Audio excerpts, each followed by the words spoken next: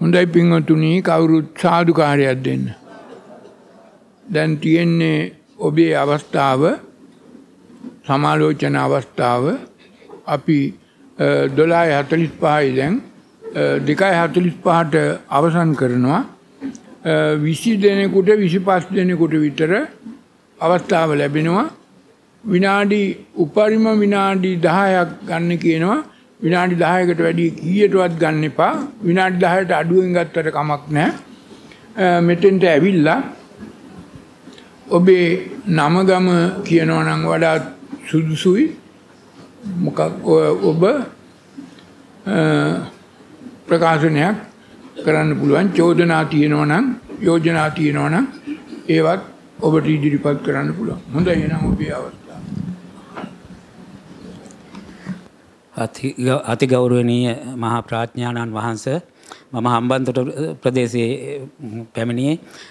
මම ඊට මේ වැඩසටහන් කීපයකට සම්බන්ධ වුණත් මම සමාලෝචන වැඩසටහනක සම්බන්ධ වුණේ නෑ.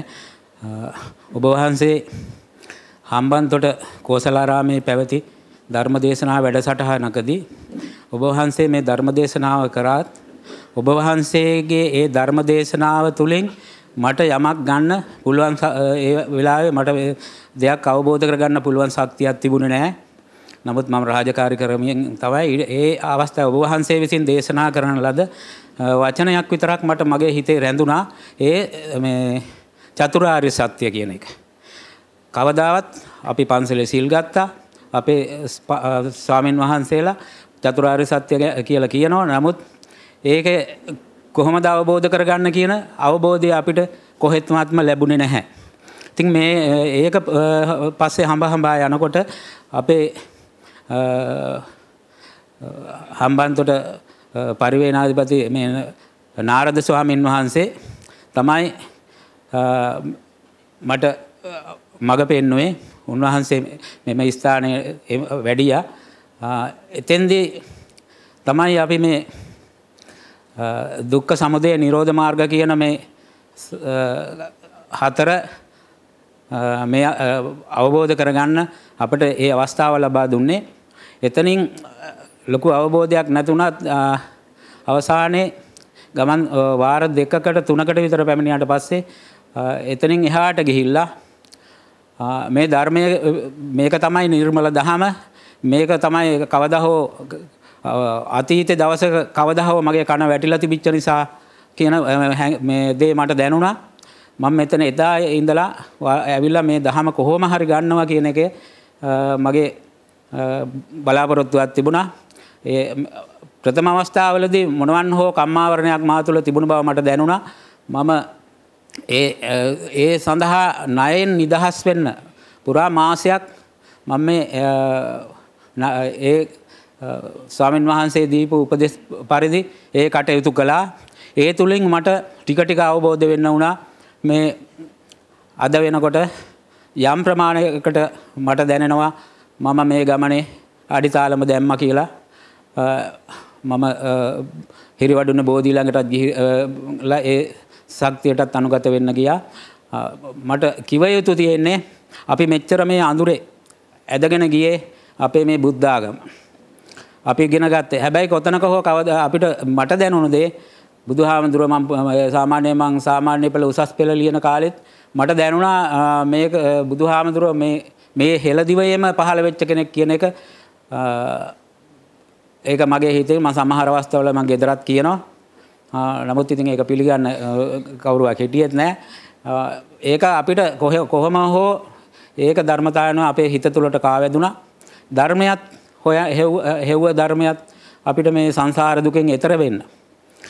අනන්ත සංසාරය දුක් විඳ විඳ ඇවිල්ලා මේ ආත්මෙත් අපි දුක් සංසාරේ මේ දරුවෝ හදලා ගෙවල් දොරවල් හදාගෙන මොකුත් මේ කරගෙන අපි අනන්ත දුකක් විඳගෙන මේ අදත් අපිට මේ තැන් වලට එන්න පාර අපි දරුවෝ එන්න උදව් කරා. දැන් මගේ නෝනා නම් මෙහෙ පොයදා වැඩසටහන් වලට ඇවිල්ලා තියෙනවා සති වැඩසටහනක එකටවත් ආවේ නැහැ. මගේ දුව ඒ දෙන්නත් මම මෙහෙට ගෙනාවා. තව ඊට කලින් කීප දෙනෙකුත් මම මේ මෙහෙට එක්ක ඇවිල්ලා දැන් එක්ක එක්කෙනෙක් ඒ හරිය 16යි කියලා හිටියා. එයා හොඳටම දහනම නොගත්තත් ඒ මහත්මයත් මෙතෙන්ට ඇවිල්ලා යම් අවබෝධයක් අරගෙන අද ජීවතුන් අතර නැහැ.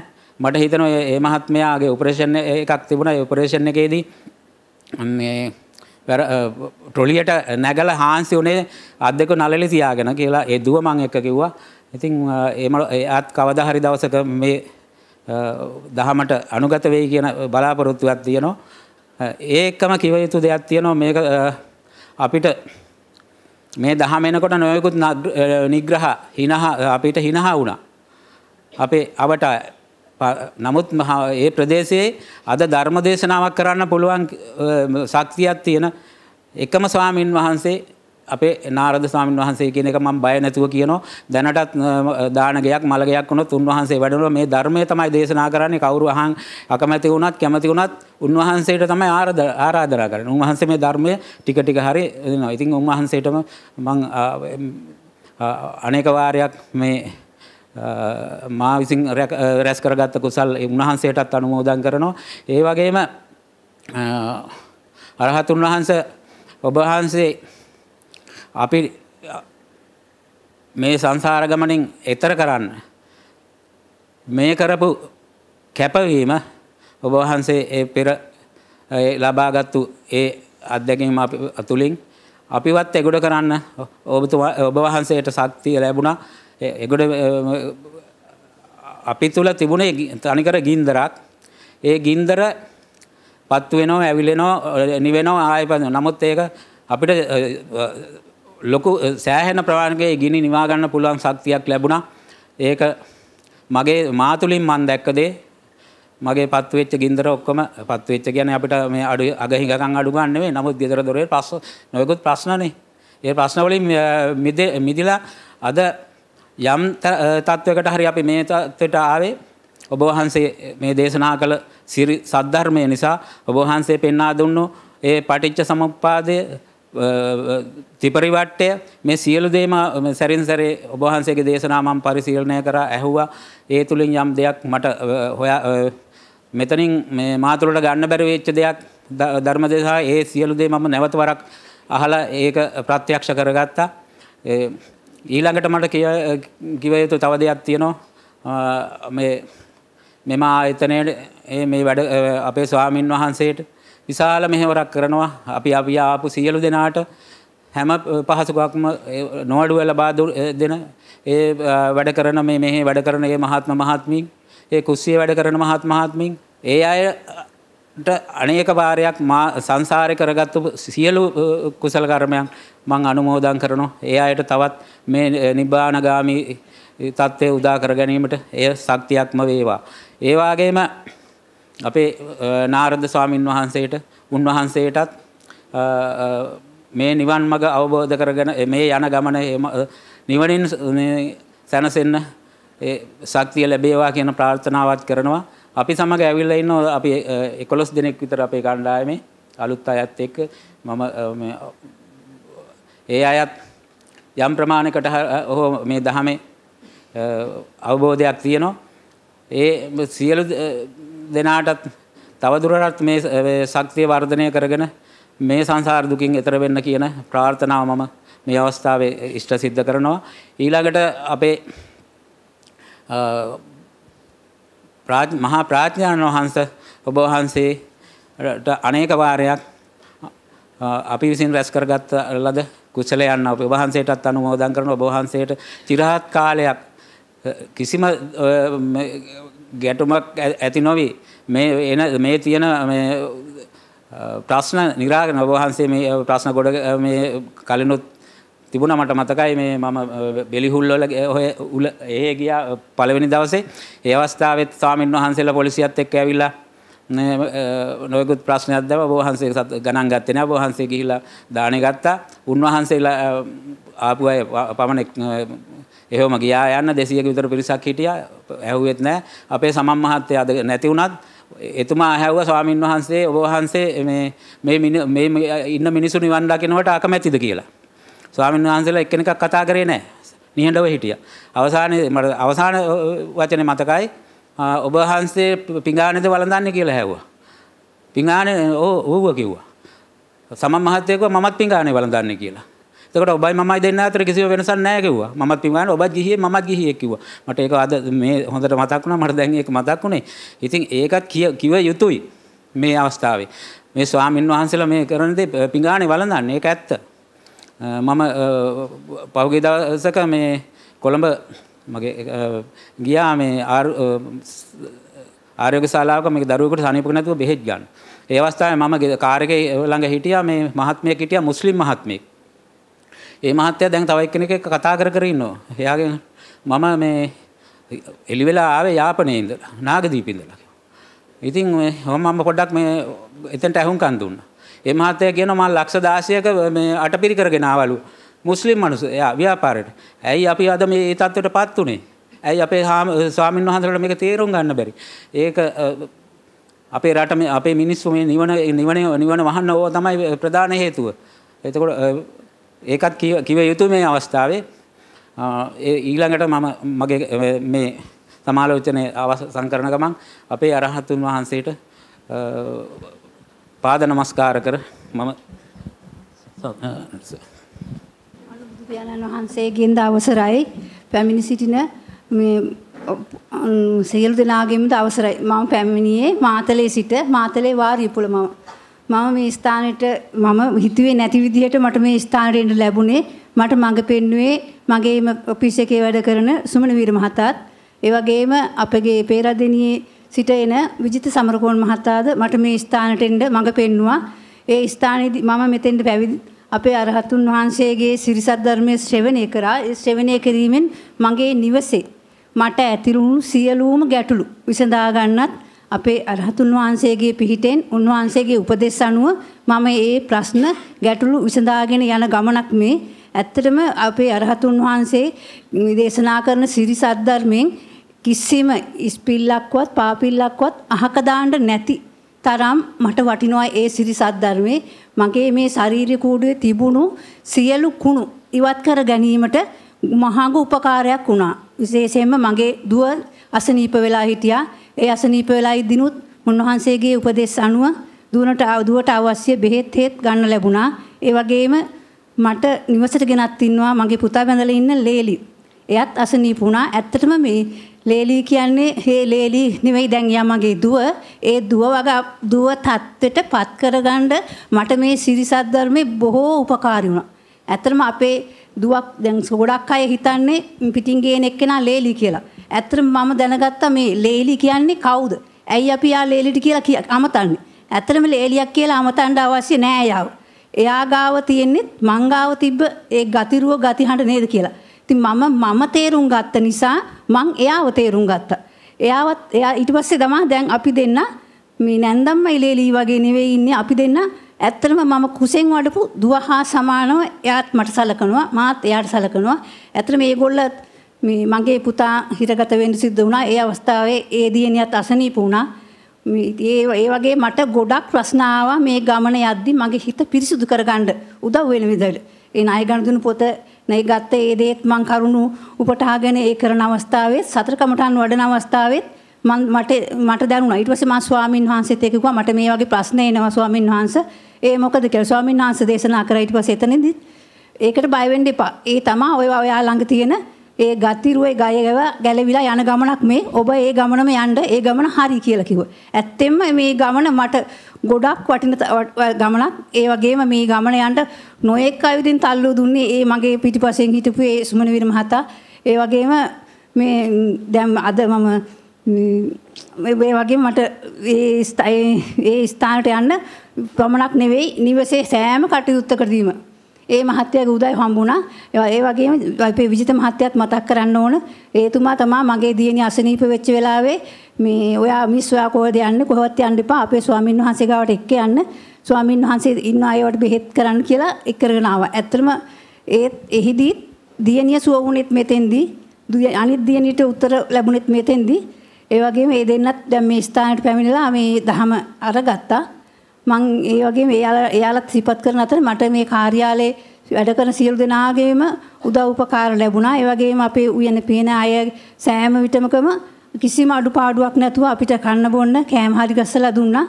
ඒ නාන්න ටොයිලට් හැම දෙයක්ම පහසුකම් සලස්වා දුන්නා. ඒ සෑම සියලු දෙනාමත් මම සිහිපත් කරලා අපිට මේ ආයතනේ අපිට මේ විදිහට ඉන්න සමන් මහත්තයාගේ අද මේ අපේ ජීවිතුන් අතර නැති වුණත් සමන් මහත්තයා මේ ගොඩ නැගිලි හදන්න මේ ඉඩකඩම් ලබා දෙන්න අපිට නොඑක් අයුරින් උදව් උපකාර කරලා විදේශ විදේශයේ වල සිටින සියලු දෙනාගේමත් උදව් උපකාර ඇතුව අපි මේ ගමන මේ යන්නේ.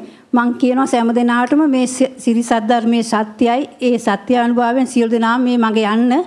ඒ වගේම මට මගේ අම්මව මෙතෙන්ට ගේන්න බැරි වුණා. මම අම්මට මේ ඉන්දියාවට කලින් එක්ක ගිය නිසා එයා ඒක සත්‍යය මේක අසත්‍යය කියලා කියන නිසා අද අම්මව මෙතෙන්ට ගේන්න බැරි වුණා මට. එයා මම නොඑක් අයුරින් මේ සැරෙත් මං ලෑස්ති වුණා අම්මා යම් මයි ගමන මගෙත් එක්ක කියලා එයා කොහොමදත් ඒක පිළිගන්න කැමති නෑ. ඉතින් ඒකින්දී මට මේ අම්මාව මෙතෙන්ට ගේන්න බැරිුණද මගේ ගමනට බාධාකමක් වෙයිද කියලා මට හිතට මේ ටිකක් කුතුහලයක් වගේ තියෙනවා. ඒ වගේම මගේ කතාව මෙතෙන් නවතර කරන මට උණු එක් අයුරින් උදව් උපකාර කර සියලු දෙනාටම අනන්ත සංසාරයේ පටන් මේ මොහොත දක්වා මා විසින් රැස් කර ගන්නා ලද සියලුම පුණ්‍ය සම්භාරයන් ඒ සෑම කෙනෙක්ම අයිසීපත් කරමි. එයාගේදී අම්මයික පින් බලාපොරොත්තු සිටිනවා නම් ඒ අයද සීපත් කරලා මාගෙන්ද යම් අයක පින් බලාපොරොත්තු වෙනවනේ යාලා සීපත් කරලා තල 31ක් තුල සිටින සියලුම සත්‍යයන්ද සීපත් කරලා සෑම කෙනෙකුටම සමසේ පින් පතුරවලා පින් පිහිටුවලා පින් දෙමි පින් කැපකොට පින් පවරින් පින් අනුමෝදන් කරමින් පින් අනුමෝදන් එත්වා ඒ වගේම අපගේ අනුබුදු පියාණන් වහන්සේටත් නිදුක් නිරෝගී සුවය ලැබේවායි අදිෂ්ඨාන කරුයි සුවපත් වේවා ගෞරවනීය අරියතුන් වහන්සේ මම මගේ පළවෙනි භාවනා වැඩසටහන මේ ස්ථානයේ ඒ වගේම පළවෙනි සමාලෝචනය මම මේ දහම පිළිබඳ යම් කාලයක් තිස්සේ හොයපු කෙනෙක් මගේ ජීවිතයේ යම් සිදුවීම් රාශියක් වෙලා මට එක්තරා ජෝතිෂ මහත්තයෙක් කිව්වා ඔබේ ජීවන ගමන වෙනස් කරගන්න ඔබ ධර්මානුකූලව ජීවත් වෙන්න කියලා. මම හොඳට කාලා බීලා නටලා හිටපු මිනිහෙක්. ඒක තමයි මගේ ජීවිතේ මුල් කාලය. ඉතින් මට ගොඩු කරදර වෙලා මට ගොඩාක් ප්‍රශ්න වුණාන් පස්සේ මට මේ ධර්ම මාර්ගයේ යන්න කිව්වන් පස්සේ මට මේ ධහම හොයන්න සිද්ධ වුණා. මොකද මගේ ප්‍රශ්නවලට විකල්පයක් විදිහට තියෙනවා දහම. ඉන් පස්සේ මම මේ දහම හොයන්න ගත්තා. මම ලංකාවේ නොගිය තැනක් නොහිටපු සංවිධානයක් නොහිටපු සංවිධානයක තනතුරු නොදරපු එකක් නැහැ. මම ඒ සංවිධානවල නම් කියන්නේ නැහැ. මොකද අපි ඒ තැන් වලින් යම් යම් දහම් කොටස් අරන් මෙතෙන් එන්න පින පෑදුනා කියන එක තමයි මට හිතෙන්නේ. අපි ඇත්තටම වෙනත් දහම් ස්ථාන වලට ගිහින් දහම හොයනකොට මට ඇතිවුණ ලොකු ප්‍රශ්නයක් තමයි මොකක්ද මේ බුදුහාඳුරෝ දේශනා කරපු ධර්මය කියලා. එක එක්කෙනා එක එක විදිහට කියන්නේ බුදුහාඳුරන්ගේ ධර්මය එක එක්කෙනා ඒ අයගේ ආකාර වලින් කියනවා. එතකොට අපිට නිවැරදි දේ හොයාගන්න බැරි හින්දා මම මේක අවස්ථාවක දැක්කම මේ දහමේ තියෙනවා නිරුක්ති කියලා જાතියක්. ඒ කියන්නේ අර්ථ ධර්ම නිරුක්ති ප්‍රතිබාන කියන අංග හතරක් තියෙනවා. මෙන්න මේ නිරුක්තිය කියන එකේ විග්‍රහයක් මම කියවුවා. යෝ නිරුක්තින ජානාති ජානාති පිටකත්වයන් පදේ පදේ විකංකය වනයන්ද ගජෝවිය කියලා. ඒ කියන්නේ මේ නිරුක්ති අනුසාරයෙන් ධර්මයෙන් නොබලන කෙනා මේ ධර්ම මාර්ගය යනකොට අන්ධ හස්තියෙක්ගේ භාවයට පත් වෙනවා කියලා. ඇත්තටම මේ යම් යම් තැන්වලකින් ඒ දහම් මාර්ගයේ යනකොට අපිටත් තුනේ අන්ධ හස්තියට වෙච්ච දේ තමයි ගුරුවරයා දන්නෙත් නැහැ මොනවද කරන්න කියලා යන අපි දන්නෙත් නැහැ. අපේ අර පුංචි කාලේ අපිට කියලා දීපු කතාවක් තියෙනවා අර දිව්‍ය ලෝකේ යන්න ගමරාල අර ඇතාගේ වලිගයල්ලා ගත්තා කියලා. අන්නේ වලිගයල්ලා ගත්තු ඇතා පිට යනකොට අර ගමරාල අත ඇතෑරුත් එයාගේ එල්ලිච්ච ඔක්කොම හැරෙනවා වගේ එහෙම දෙයක් තමයි වුනේ. ඉතින් ඇතර මේ ධර්මයේ පිළිබඳ සෙවිල්ලෙන් යනකොට මට මේ පිළිබඳව ඔබ වහන්සේ මැල්සිපුරට වැඩපු වෙලාවක මට ධර්ම සාකච්ඡාවට එන්න කියලා ආරාධනයක් නැත්නම් මගේ යාළුවෙක් මම ධර්මය අහන්න ඒ වෙලාවේ මට ලොකු වමනාවක් තිබ්බා මම ගියන් පස්සේ ඔබ වහන්සේ එක්තරා ප්‍රකාශයක් කරා මේ බුදුරජාණන් වහන්සේ ලංකාව ඉපදනාය මේ මෙහෙම කතාවක් කීව ඇතන යන මං ඒ පිළිබඳ ඔබහන්සකින් ප්‍රශ්නකුත් ඇහවා. පස මම ගෙදරාවන් පස්සේ කල්පනා කරා ඇත්තටම ඔබවහන්සේ එහෙම ප්‍රකාශයක් කරන්නේ ඇයි? මම එතකොට දැන් මේ ඉන්දියාව කියලා පිළි අරන් ඉන්නේ කොහොමද? මම ඒ ප්‍රශ්නේ විතරයි හිතුවේ. එතකොට මට මම හැට දැක්කෙත් නැහැ. මගේ පවුලේ කවුරුවත් දැකලත් නැහැ බුදුහාඳුරුව. එතකොට අපි මේ පිළිගන්නේත් පොතපතෙන් ආපු එකක් කවුරුවත් කියපු එකක්. එතකොට මෙහෙම ප්‍රකාශයක් ඔබ වහන්සේ කරන හේතුව මොකක්ද කියන එක පිළිබඳව මට ලොකු කුකුසක් ඇති වුණා. එතකොට මෙන්න මේකත් හොයන්න ඕනේ. එතකොට මේ ධම්මගත මොකක්ද කියන එක හොයන්න ඕනේ කියන පිළිබඳව මේ පරිශ්‍රණයම එක් අවස්ථාවකට තමයි මෙතෙන් පැමිණුනේ.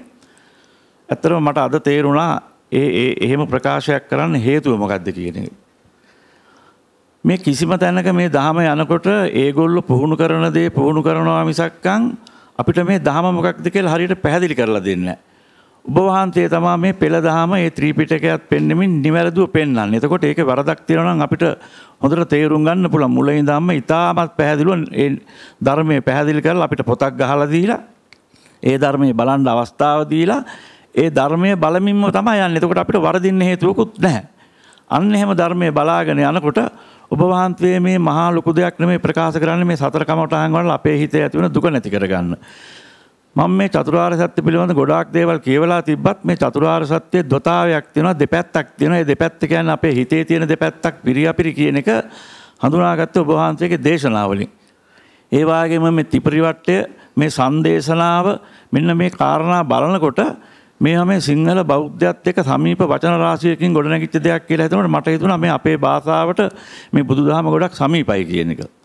ඉන්පස්සේ ඔබ වහන්සේගේ මේ විග්‍රහය තුලින් ඒක අදහනකොට මම YouTube එකෙන් ගොඩක් වෙලාවට දහම බැලුවා. බැලුවන් පස්සේ මට තේරුණා මේ කියන දේ ගිහින් මොකක්ද කියලා නිරීක්ෂණය කරලා බලන්න ඕන කියලා. ඉතින් මම බොහොම පිරිසුදු දෙකින් ආයේ මේ දහම මොකක්ද කියලා හඳුනා ගන්න කියලා. ඇත්තටම මම වාසනාවන්තයි කියලා හිතනවා. මොකද මම ගොඩාක් වැරදි දහම් කරුණු ගොඩක් මගේ ඔළුවේ තියෙනවා. මම ඒ දහම ගොඩක් පාඩම් කරපු කෙනෙක්. ත්‍රිපිටකෙත් ගොඩක් දේවල් කියවලා තියෙනවා. හැබැයි ඔබ වහන්සේ මේ පද නිරුක්ති කඩන විදිහ දැක්කහම මට හරි ප්‍රශ්නයක් වුණා කොහොමද ඒවා එහෙම වෙන්නේ කියලා. එදා ත්‍රිපිටකයේ පෙන්නකොට තමයි මම දැක්කේ මේක එක පෙළට ලියලා තියෙන එකක් මේක වැරදිලා කැඩුනොත් එහෙම ඇත්තටම දහම්මර්ථ යට යනවා කියන එක. ඉතින් ඔබ වහන්සේ ඇත්තටම මේ කියන්නේ මේ දහම බලලා මේ දහම Taman තුල වඩන ක්‍රමයක් වෙන මොකක්වත් කිව්වේ නැහැ. පවතින සම්මතයට ඒකෙන් යම්කිසි ප්‍රශ්නයක් වෙනවා කියන එක අපිටත් තේරෙනවා. අපිත් පන්සල්වල දායකයෝ විදිහට කරන්නේ මහා බොරුවක් කියන එක තේරිලා අපිට කරගන්න දෙයක් නැතුව අපි ඒවා කරගෙන යනවා. හැබැයි අපි මේ දහම වඩන හැටි දැනගත්තේ නැහැ. මම විශේෂ සංවිධානයක හිටියා ගොඩක් කාලයක්. එතනත් ඒක මං හිතන ලෝක රටවල් 100 ගානක විතර මේ මේ වැඩපිළිවෙල තියෙනවා. එතනත් ඇත්ත වශයෙන්ම තියෙන මේ ශාරීරික සංවේදනා බලලා මේ නේව සංඥා නාසාවන්න වලට යන වැඩපිළිවෙලක් කියන එක මට තේරුණේ භාවනා ප්‍රගුණ කිරීම නිසා. මොකද ඒව තුළ ඇත්තටම විමුක්ති මාර්ගයක් තිබුණේ නැහැ.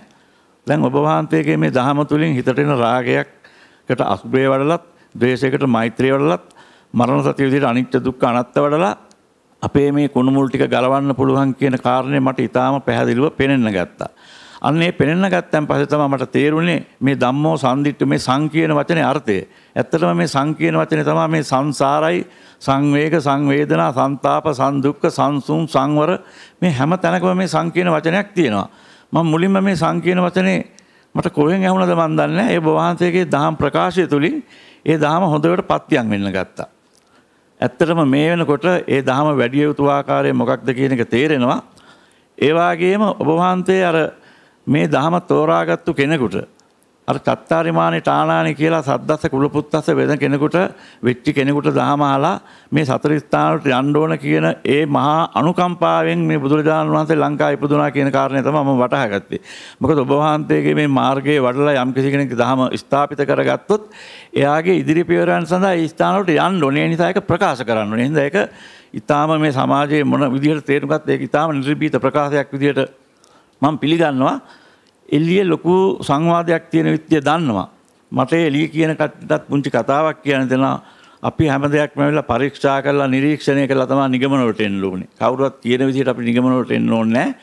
ඒ අයට පුළුවන්කමක් තියෙනවා නම් මේ ස්ථානයට කොයි මොහොතක හරි ඇවිල්ලා මේ ධර්මයේ නිරීක්ෂණය කරලා බලන්න. බැලුවන් පස්සේ මොකද්ද මේ සත්‍ය කියන එක ඔබට තේරෙයි. ඇත්තටම එළියේ කරන කටයුත්ත තුළින් මේ දහම් දහම මේ ලෝකේ ව්‍යාප්ත වෙන තියෙන අවස්ථාවකට යම්කිසි බලපෑමක් වෙන නිසාත් ඒගොල්ලෝ ඉතා විශාල අකුසලයක් කරගන්නවා කියන එකත් ඉතාම පැහැදිලි.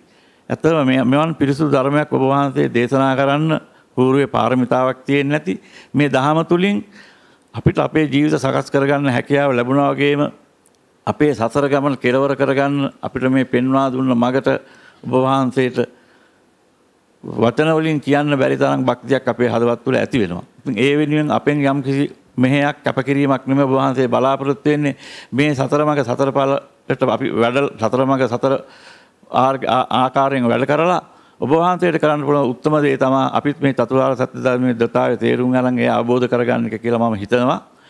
ඒ වගේම මේ එළියේ තියෙන යම් මේ ප්‍රශ්නයක් තියෙන කෙනෙකුට මම විවෘත ආරාධනයක් කරනවා. එහෙම නැත්නම් මාධ්‍ය තුලින් විශාල දහම් මණ්ඩපයක් හදලා දහම් සාකච්ඡාවකට අවස්ථාව දෙන්න. එතකොට මේ ඇත්ත මොකද්ද කියන එක තේරෙයි.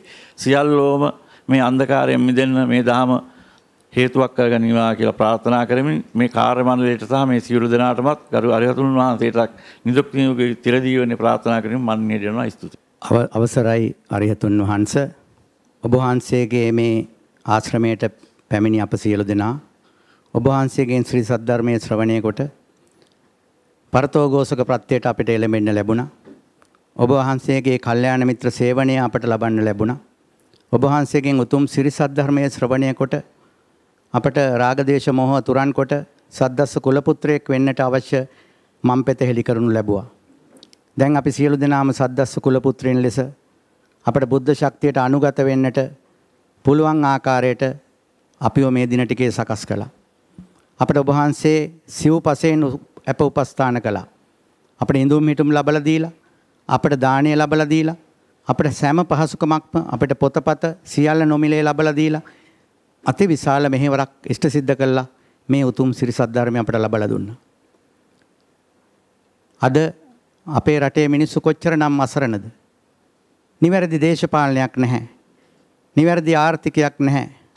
එහෙනම් නිවැරදි දහමක්වත් අපිට අපේ දහම අපට ලබන්නටවත් අයිතියක් අපට දෙන්නේ නැද්ද? ඒක තමයි පිට බාහිර පාර්ශවයන්ගෙන් අහන්න සිදු වෙන්නේ. හරියතුන් වහන්සේ මමත් උතුම් සිරි සද්ධර්මය හැමතැනම හෙව්වා. මම ගමේ පන්සලේ දහම් පාසල් අධ්‍යාපනයට ගිහිල්ලා සිල් සමාදන් වුණා. පිම්බෙනවා ඇකිලෙනවා කියන භාවනාව කළා. උදේට ගිහිල්ලා හවස් වෙනකන් ඉඳලා අපි ගත්තු දෙයක් නැතුව ගෙදරට ගියා. මෙහෙම ඉන්නකොට මට හම්බ වුණා ස්වාමීන් වහන්සේ නමක් කෑගල්ලේ සීසර් උපාසක මහත්තයාගෙන් ධර්මය හදාරගත්තු ස්වාමින් වහන්සේ නමක් මැටියගනි ආරාමි. බුද්ධරක්කිස්ථාරාමි. උන්වහන්සේගෙන් ධර්ම දේශනා වුවාම මම නෙවෙයි මගේ නෙවෙයි කියලා දකින්නට යම් පුහුණුවක් ලැබුවා. සම්මත ආගමේ தත්ත්වයට වඩා පොඩි වෙනසක් එතන දැක්කා. වැඩි කාලයක් එතනට ගියා. එතන වැඩි කාලයක් ඉන්නකොට 2009 දී පමණ මට හමු වුණා ඔබ වහන්සේ ගිහි කාලේ ඉඳලා ඔබ වහන්සේගේ කල්යාණ මිත්‍රයෙක් වෙච්ච ඔබ වහන්සේ අපේ ප්‍රදේශයේ කුරුවිට මඩලගම වජිරපුද්දි ස්වාමින් වහන්සේ අභියස චේතියගිරි පිරිවෙනේ පැවිදි වෙන්නට යන අවස්ථාවට සහභාගී වුණ සරත් අබේසිංහ මහත්තයා මට හම්බ වුණා. සරත් අබේසිංහ මහත්තයා හම්බ වුණාම මට මේ ධර්මයේ ටිකක් කිව්වා. නමුත් අරියතුන් වහන්සේ මට ඒ වෙලාවේ වැටහුණේ නැහැ. මම අනිත් දහමත් එක්ක මට ඒක හරියට පැහැදිලි වුණේ නැහැ. ඒ කාලේ වන විට මම ඇහැලියගොඩ ප්‍රාදේශ සභාවේ සභාපතිවරයා ලෙස කටයුතු කරමින් හිටියේ. මම ප්‍රාදේශ සභාවේ හැම පොය දවසකටම මම දහම් දේශනාවක් කරන්නත් වෙසක් පොසොන් නැසල වගේ පොහොයවල සිල් සමාදන් වීමේ ව්‍යාපාරයක් කරන්නටත් මම කටයුතු කළා. මම මේ අවස්ථාවට සරත් අබේසිංහ මහත්මයාත් ගෙනහැල්ලා ඔබ වහන්සේගෙන් තව කල්යාණ මිත්‍රයෙක් වන පාර්ලිමේන්තුවේ හැන්සාඩ් වාර්තාව කරණයේ ප්‍රධානියෙක් වන විජේදාස මහත්මයාත් ඇවිල්ලා ධර්ම දේශනා පැවැත්තුවා. ඒ ධර්මය ඇහුවා අරියතුන් වහන්සේ මට මොනවද දන්නේ මේක වැටහුණේ නැහැ. අද මට හරි දුකක් තිබෙන්නේ එදා මට එන්න ලැබුණා නම් අපි කොච්චර දුරක් ගිහිල්ලාද කියලා. ඊට පස්සේ එහෙම ඉඳලා මේ ගිය අවුරුද්දේ මට අහඹුල සාරියතුන් වහන්සේ බුලත් කෝපටි ප්‍රදේශයේ මගේ බිරිඳගේ ගම්මානේ එහි අපේ ව්‍යාපාරිකුත් තියෙනවා. මම ව්‍යාපාරික ස්ථානින් නැද්දී යුද හමුදාවේ හිටපු නිලධාරි මහත්මයෙක් අපේ ටියුඩර් කුමාරසිංහ කියන මහත්මයා ඇවිල්ලා මගේ ව්‍යාපාරික ස්ථානට ඇවිල්ලා මට දහම් පද දෙක තුනක් කිව්වා. මම කරකෝල අතෑරියා වගේ මං මට දැනුණා. ඊට පස්සේ එතුමාගෙන් මම ධර්ම ටිකක් ඇහුවා. අහලා මම කිව්වා ඔබතුමාට හොඳ ධර්ම දැනුමක් තියෙනවනේ. එන්නකෝ යන්න මම මැටිගනේ ආරාමේ මම බණක් අහන්න යනවා එහෙ යන්න එන්න කියලා. නෑ මං තැනකට යනවා කිව්වා. ඊට පස්සේ මම ඇහුවා එහෙනම් ඔබ ඔබ යන්නේ මෙවන පලානේ අරියතුන් වහන්සේගේ ධර්මය අහන්නද කියලා මට ඇහුණා. ඒක මට එහෙ කොහොම වුණාද දන්නේ මම එහෙම වුණා. ඔව් මං යනවා කිව්වා. ඊට පස්සේ අරියතුන් වහන්සේ මට එතුමා සමග ඊළඟ පෝයේදී මම ගිය අගෝස්තු පෝයට මම ආවේ බිරිඳත් මගේ දරුවෝ දෙන්නොත් සමග. මම ඇහිලා මම නිකන් හිටියේ නෑ ඊට පස්සේ ඒ කුමාරසිංහ මහත්මයාට ඔබ වහන්සේ වටරකින් නැති තමයි ගිහින් තියෙන්නේ. ඒ ගිහිල්ලත් තියෙන එයා යුද හමුදාවේ ඉන්න කාලේ ලංකාවේ බුදුහාමුදුරේ ඉපදුනා කියලා තව හමුදා නිලධාරියෙක් ඇහිලා කිව්වහම මෙයා කිව්වලු ඒක නම් ඇත්ත වෙන්න ඕනේ. කියලා එයා තනියෙන් ගිහිල්ලා ඔබ වහන්සේ හම්බ වෙන්න වටරකට. වටරකට ගිහිල්ලා ස්වාමීන් වහන්සේ නමක් එළි හිටියක් කිව්වා මෙයා ගිහිල්ලා වැන්දයි කිව්වා. වැඳලා කිව්වා ස්වාමීන් වහන්සේ මට මේ වෙන පලාණේ අරියතුන් වහන්සේ හම්බෙන්න ඕනේ කියලා. ආයේ මම තමයි මහත්තයෝ කියලා ඔබ වහන්සේ කීවා කිව්වා. ඉතින් ඇයි මහත්තයෝ කියලා ඇහුවලු. ඔබ වහන්සේ කියනවා කියන්නේ මේ ලංකාවේ බුදුහාමුදුරු ඉපදුණයි කියලා. මහත්තයා මොකද කරන්නේ ඇහුවලු. මම යුද්ධ හමුදාවේ කිව්වලු. ආ යුද හමුදාවයට ඔය වගේ අමාරු තියෙනවා. එන්න ධර්මය අහන්න එතකොට වාට වැටහෙයි කියලා. අද මං හිතන්නේ යාට ලොකු ප්‍රඥාවක් තියෙනවා ධර්මයක් තියෙනවා. ඊට පස්සේ මම මොකද කළේ? යත් සමග මම මගේ නිවසේ මාසෙකට තුන් වතාවක් ධර්ම සාකච්ඡාවක් පවත්වනවා. මම පවත්වලා පවත්වලා දැන් බුලත් කොහොපිටි ප්‍රදේශයෙන් 60 දෙනෙක් පමණ ලොකු බස් රථයකින් එන්න සකස් වෙලා තිබෙනවා. එතනින් මම අතහැරියෙත් නෑ මගේ ගම්මානය මම ඇහැලියගොඩ ගැටහැත්ත මුරුතැංගල කියන ගම. මම එතනටත් කුමාරසිංහ මහත්තයා අරන් ගිහිල්ලා 35 දෙනෙකුට දේශනයක් වැඩසටහනක් කළා. 35 දෙනෙක් කරනකොට 25 දෙනෙක් පහුගිය පොයට මම මෙහෙට ඒගොල්ලෝ එක්කන් එන්න හැකියාව ලැබුණා.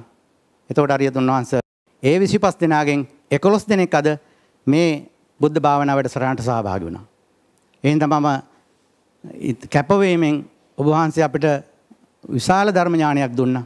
ඔබ වහන්සේට කරන උත්තුංගම පූජාව තමයි අපි තව තවත් ඔබ වහන්සේ මේ වෙහෙස මහන්සියලා කරපු ධර්මය තව අයට දෙන එක. ඔබත් නිකන් ඉන්න එපා. තව එක්කෙනෙක් හරි එකතු කරන්න. ගෙදරට ගිහින් නිහඬ වෙන්න එපා. කතා කරන්න. බය නැතුව මේ වැඩේ කරන්න කරන්න පුළුවන්. හරියට ධර්ම ඥානය දීලා ඉතිහාසය කතා කරන්න කිසි ප්‍රශ්නයක් වෙන්නේ නැහැ කරන්න පුළුවන්. මම කුමාරසිංහ මහත්තයාගෙන් ධර්ම ඥානය දෙනකොට මම ඉතිහාසයත් මතක් කරලා දීලා තමයි මෙතනට එක්ක ආවේ. මම ඉතිහාසෙ නිකක් දුන්නේ මේ සිතියම් බල්ලා එනකොටයි ස්වාමීන් වහන්සේගේ සමහර ප්‍රශ්න අහනකොට ඉතිහාසෙ කෑලි තැනින් තැනින් ගියොත් ඒගොල්ලෝ විස්මය වෙනවා. එහෙනම් දැනුවත් කරලා ගැනීම වැදගත් කියලා දැන් ඒ කටයුත්තත් කරලා එන්නේ. ඒ නිසා මේක කිසි ගැටලුවක් නැහැ. අපි උන්වහන්සේට කරන උත්තුංගම පූජාව තමයි තව තවත් මේ දහම්මකට යොමු කරන එක. තව එළියේ ලක්ෂ 25ක් පමණ ඉන්න බව දැන් දැනගන්න ලැබුණා. තව විශාල පිරිසක් එන්න ඉන්නවා එන්න තව ඒගොල්ලන්ට වරම් නැතුව සිටිනවා. ඒගොල්ලෝ ආගමක ඉන්නවා අතරමං වෙලා. මේ ආගමක අතරමං වෙලා ඉන්න පිරිස බේරා ගන්නට මහා චණ්ඩ මාරුතයකින් මහා ගංගාවක් දැන් ගලාගෙන යනවා මහා මුහුදට. ඒකේ ගසාගෙන යනකොට ඔඩුගම් බලා තනියෙන් අපේ අරියතුන් වහන්සේ පීනනවා. මේ ධර්මය අරගෙන අපිට එනවා. එහෙනම් මේ ධර්මය ලබා ගන්න අපි සියලු දෙනා අමාදිෂ්ඨානයක් වඩන්න ඕනේ. ඒ සියලු දෙනා මේ දහම්මකට යොමු කරන්න අධිෂ්ඨාන කරන්න ඕනේ. අරියතුන් වහන්සේ ඔබ වහන්සේ කිසි දවසක අපි තනි කරන්නේ නැහැ. අපිට හැකිය ආකාරයට ඔබ වහන්සේගේ ඔබ වහන්සේ තව තවත් දීර්ඝායුෂ වෙලා මේ මහා ධර්ම මෙහෙවර කරන්න ශක්තිය ලැබේවා කියලා අධිෂ්ඨාන කරන අතර ඔබ වහන්සේට සෙවණැල්ලක් වෙමින් අපි පිටුපසේ ඉන්න බව අපි පසක් කරනවා මේ දහම්මග තව තවත් පෝෂණය කරන්න අපි අධිෂ්ඨාන වඩනමයි කියලා අපි මේ අවස්ථාවේ සපත කරනවා. අරියතුන් වහන්සේ බාහිර බලවේග ආගමික සංවිධාන කොතරම් තිබුණත් හැබැයි සමහර පන්සල් මේ දහමට කැමති. එක මට උප්පූර්ණය අරියතුන් වහන්ස මගේ ගමේ ගැටහැත්ත මුරුතැංගල පන්සල.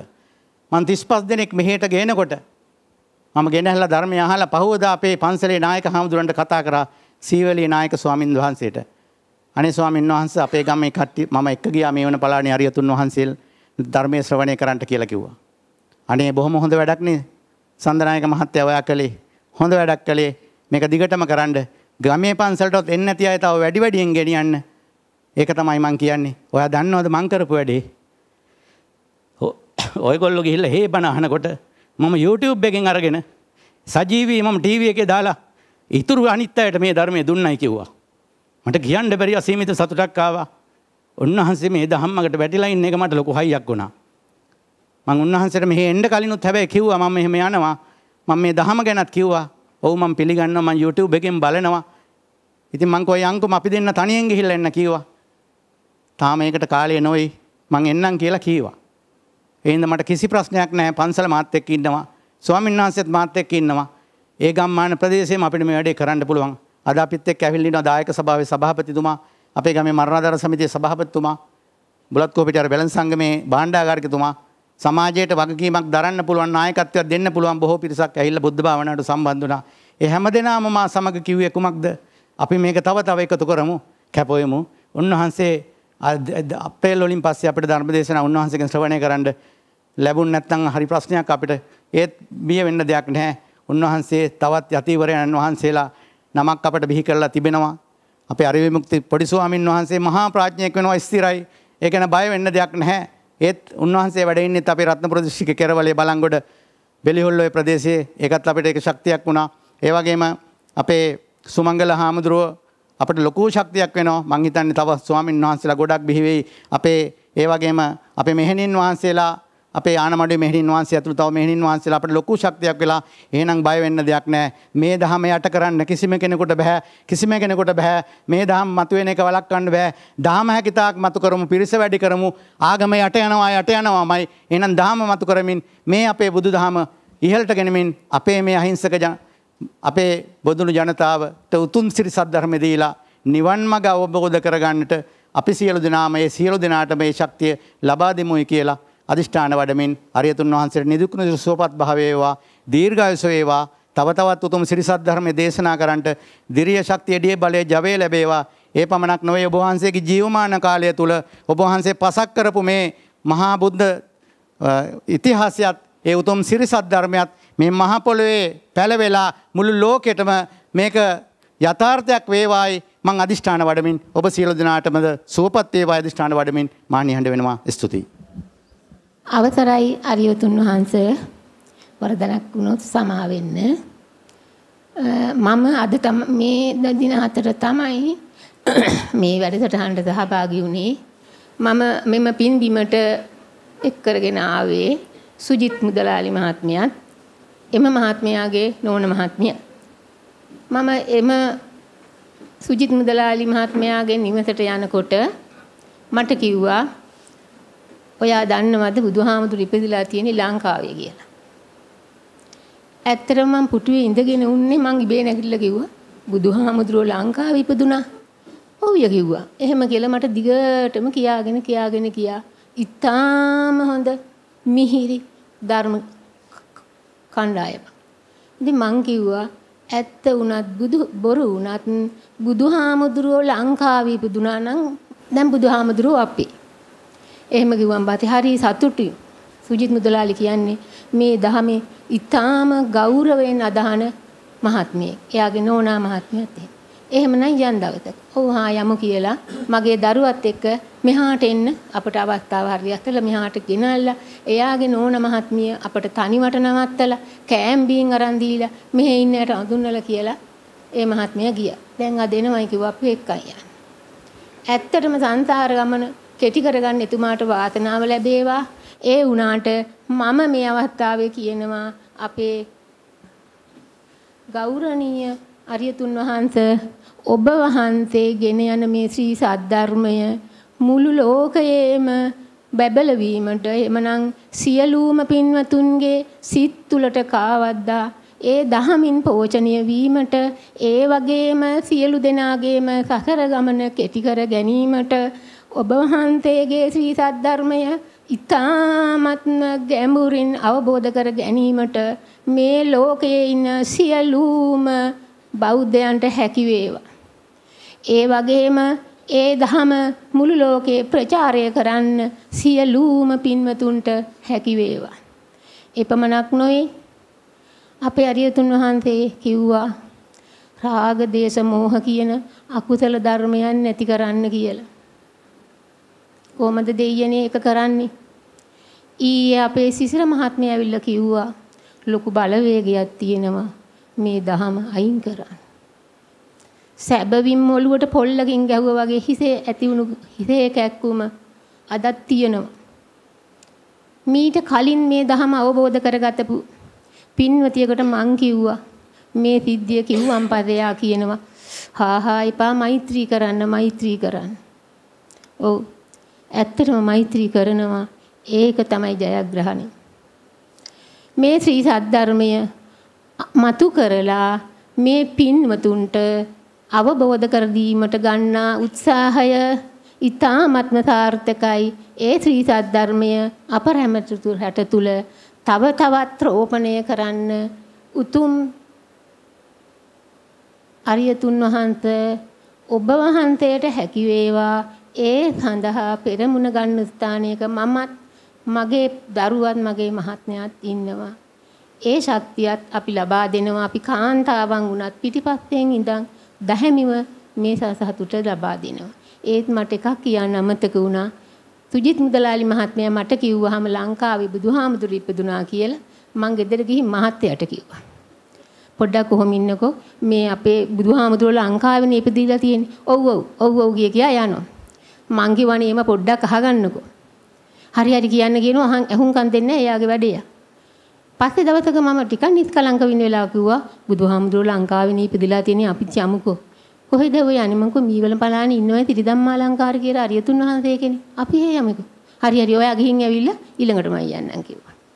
ඔව් මම මගේ මහත්මයාත් එක්කගෙන ඉනවා මොකද ඒගොල්ලෝ කම්මාවරණය කියන වචනයෙන් පීඩිත වෙච්ච උද උදවි.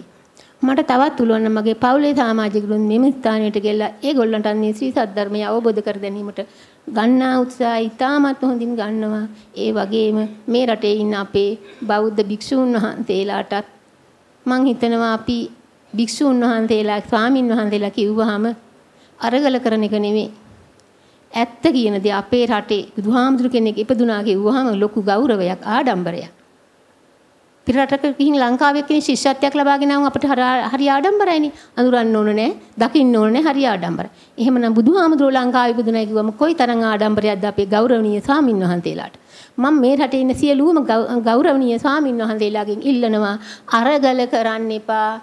අපේ බුදුහාමුදුරුවෝ තිරිගුණාලංකාර ස්වාමින් වහන්සේ මේ මීවන පලානේ ආරණ්‍යක පින් කෙතක වැඳබෙනවා ඇවිල්ලා අරගල නොකර ඇත්ත නැත්ත දැනගන්න.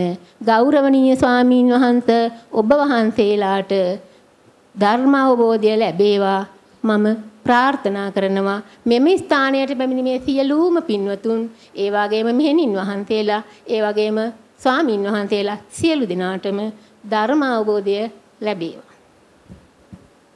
ගෞරවනීය මහා ප්‍රඥාන් වහන්සේ ඇතුළු සිව්වන පිරිසෙන් අවසරයි. මං හිතන්නේ මේ උතුම් වූ අරිය මාර්ගයට යම් කෙනෙක් පිවිසුනාද ඒ පිවිසිච්ච කෙනාට වටිනාම දේ තමයි කාලය. ඒ කාලයෙන් උපරිම ප්‍රයෝජන ගන්න තමයි ඒ හැමදෙනාම උත්සාහයක් දරන්නේ කියලා පේන නිසා මේ වෙලාවේදී සිකී වෙස්සබෝ විපස්සී කකුසඳ කෝණාගම කාශ්‍යප ගොතම යන සත්බුදුරන් වහන්සේලාගෙන් නියත විවරණ ලබාගෙන පත්බුර බුදුවරයන් වහන්සේලාගෙන් උතුම් අරිය දහම ශ්‍රවණය කරලා ගොතම සම්මා සම්බුදුරජාණන් වහන්සේගේ බුද්ධ ශාසනයේදී ඒ උතුම් වූ මඟඵල ලබාගෙන නියත විවරණ ලබාගෙන ඒ නියත විවරණ මේ වෙනකොට පූර්ණය කරගෙන ඒ මහා පරිනිබ්බාන සූත්‍ර දේශනාවෙන් දේශිත පරිදි ඒ පදනම මත පිහිටා මේ අපිට සෝතාපට්ටි අංග ලබා දීලා සෝතාපට්ටි අංග ලබා දීලා ඊට පස්සේ පරතෝഘോഷක ප්‍රත්‍ය ලබා දීලා ඊට පස්සේ සද්දා ඉන්ද්‍රිය අවදි කරලා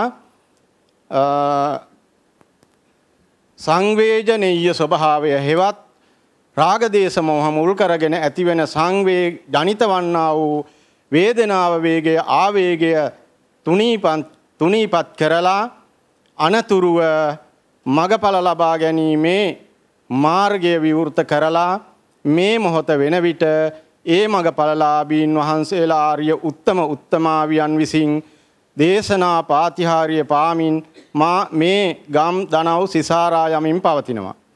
ඒ පදනම මේ පදනම සකස් කර ගැනීම සඳහා එදා ගොතම සම්මා සම්බුදුරජාණන් වහන්සේ මහා පරිනිබ්බාන සූත්‍රයෙන් ඒ දාපු පදනම තමයි මේ විවෘත වෙලා තියෙන්නේ.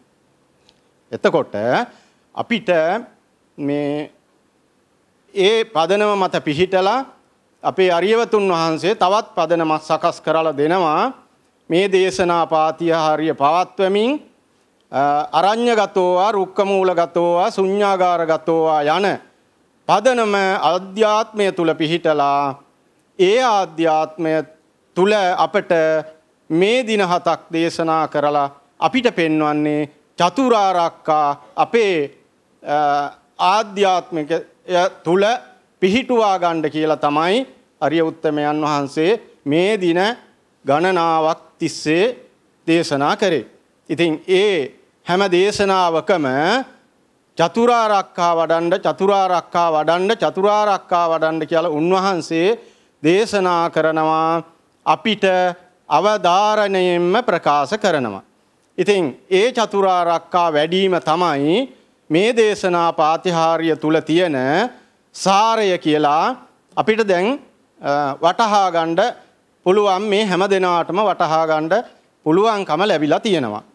ඉතින් ඒ අනුව උන්වහන්සේ විසින් ඒ අපිට ඒ මහා සුව අසුව දහසක් ධර්මස්කන්ධය කියන දුක් පැවැත්ම දුක්ඛ චක්‍රය කර්ම චක්‍රය සකස් කරන අසුව ධර්මයත් ඒ වගේම Nirodhaය Nirodhaය නැමැති සුව ධර්මයත් දෙආකාරයකට අපිට පෙන්වලා දීලා උන්වහන්සේ එයින් Nirodhaය තුල තියෙන සාරය අරන් අපිට චතුරාර්යක්කා වශයෙන් নিরතුරුවම භාවිතා කරන්න භාවිතා කරන්න භාවිතා කරන්න කියලා ඒ ඒ උතුම් වූ මේ උතුම් වූ සුව ධර්මයේ සාරය තමයි අප ඔය ලබා දීලා තියෙන්නේ. අන්න ඒ ලෝකෝත්තර සත්‍ය දැක දැන ගැනීමට තමයි මේ දින හතක් තිස්සේ මේ අරිය උත්තමයන් වහන්සේ මේ මාර්ගය අපට දෙසා වදාළේ. ඉතින් ඒ අනුව මේ වෙලාව ගොඩක් ගත වෙච්ච හින්දා මහා ප්‍රඥාන් වහන්සේටත් දීර්ඝාස නිරෝගී සම්පන්නිය ලැබේවා.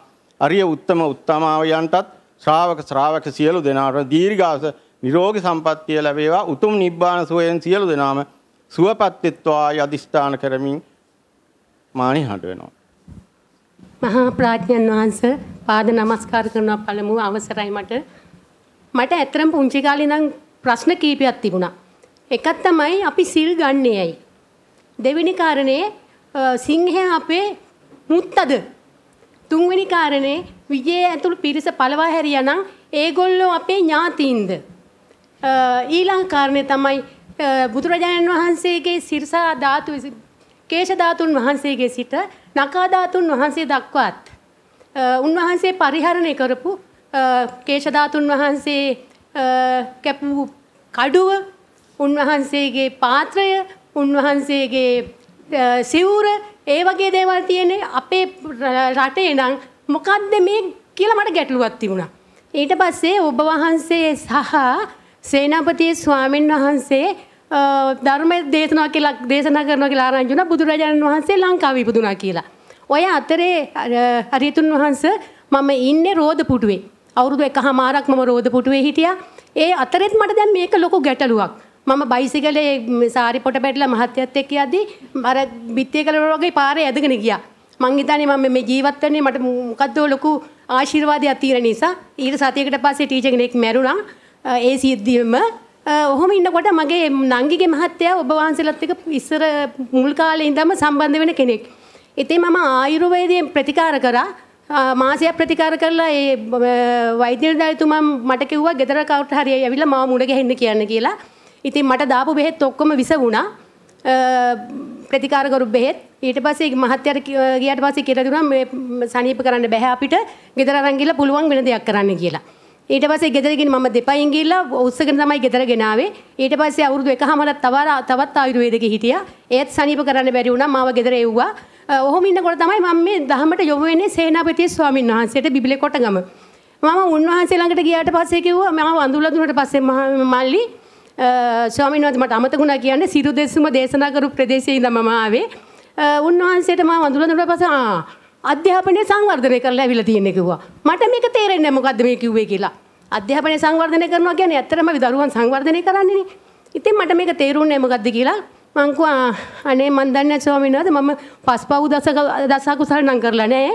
නමුත් ඔබ වහන්සේත් මීවල පලානේ ස්වාමීන් වහන්සේ කියලා කෙනෙකුත් ඔබ වහන්සේලා දේශනා කරනවා මේ බුදුහාමුදුරුවෝ ලංකාවේ කියලා මං ඒක බලන්නයි ආවේ කියලා. ඒක ඒක ඒක දැනගන්නයි ආවේ කියලා. මොකද පුංචි කාලේ ඉඳන් මං මගේ අම්මා අප්පච්චි කියන දේක්වත් මං අහන්නේ මගේ කනට ඇහෙන්න ඕනේ මගේ ඇස් දෙකට දකින්න ඕනේ. එහෙම පුරුද්දක් මට තිබුණා. ඊට පස්සේ මං එහෙම ඉන්නකොට දැන් මම රෝද පුටු ඉඳගෙන තමයි එතෙන්ට යන්නේ.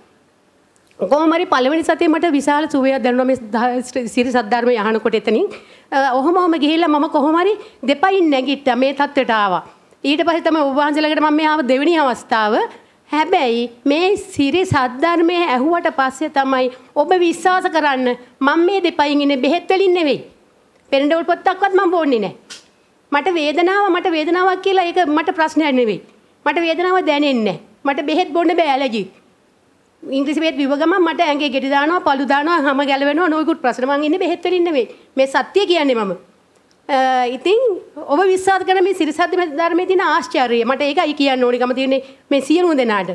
මහත්යට හાર્ට් ඇටැක් ඇදුනා මම මස් මාළු කාපු කෙනෙක් නමුත් ඔබ වහන්සේලා මේ දේශනාකු සිරිසත් ධර්මයෙන් මම තේරුම් ගත්ත පටන් මම නිර්මාංශ වුණා. ඒ බව අදිස්ථාන කරා. මහත්යට හાર્ට් ඇටැක් ඇදුනේ වැඩ ගෙල්ලෙනකොට මහියේ ටවුන් එකේදී ඒ ඒ ස්පිරිතාලට යන ගමන් මට කිව්වා මෙහෙම මට හાર્ට් මෙන්න පපුවරි දෙනවා මාව ස්පිරිතාලට මට ගොඩක් අමාරුයි කියලා. මට අදිස්ථාන කරන්න තිබුණේ ඔබ වහන්සේ කිව්වා වගේ මම නිර්මාංශයි ඒ සත්‍යයි ඒ සත්‍යානුභවයෙන් මහත්ය සුවපත් වෙන්න ඕනි කියලා. දවස් 6ක් යනකොට මහත්යගේ ඔපරේෂන් එක කරලා ගෙදර එන්න පුළුවන් වුණා. මං එතන අවුරුදු 13 14 ආයිනෝ මේ පොලිමේ ඔපරේෂන් එක කරගන්න බැරුව. ඉතින් ඒ මේ සිරසත් ධර්මයේ සත්‍යයි. සත්‍යයි. ඒ සත්‍ය. එතකොට මට මේ මේ මේක විකෘති අපි දහම විකෘති කරනවා. මේ අහන දහම විකෘති ධර්මයක් කියනගේ මට අහන්න තියෙන්නේ අපේ අරිහතුන් වහන්සේ දේශනා කරන්නේ මේ හිතලු නෙවෙයි. උන්වහන්සේට මේ හිතන හිතන ඒවා උන්වහන්සේ දේශනා කරන්නේ. උන්වහන්සේ මේ මේ ධර්මයේ විකෘති කරනවා නම් උන්වහන්සේට හිතන දේවල් උන්වහන්සේ කියන්න එපා. උන්වහන්සේ දේශනා කරන්නේ මේ බුදුරජාණන් වහන්සේ දේශනා කරපු සූත්‍ර ටික අරගෙනනේ. එතකොට කොහොමද කියන්නේ මේ මේ අහන්න මිනිස්සු අහන්නේ නැද්ද?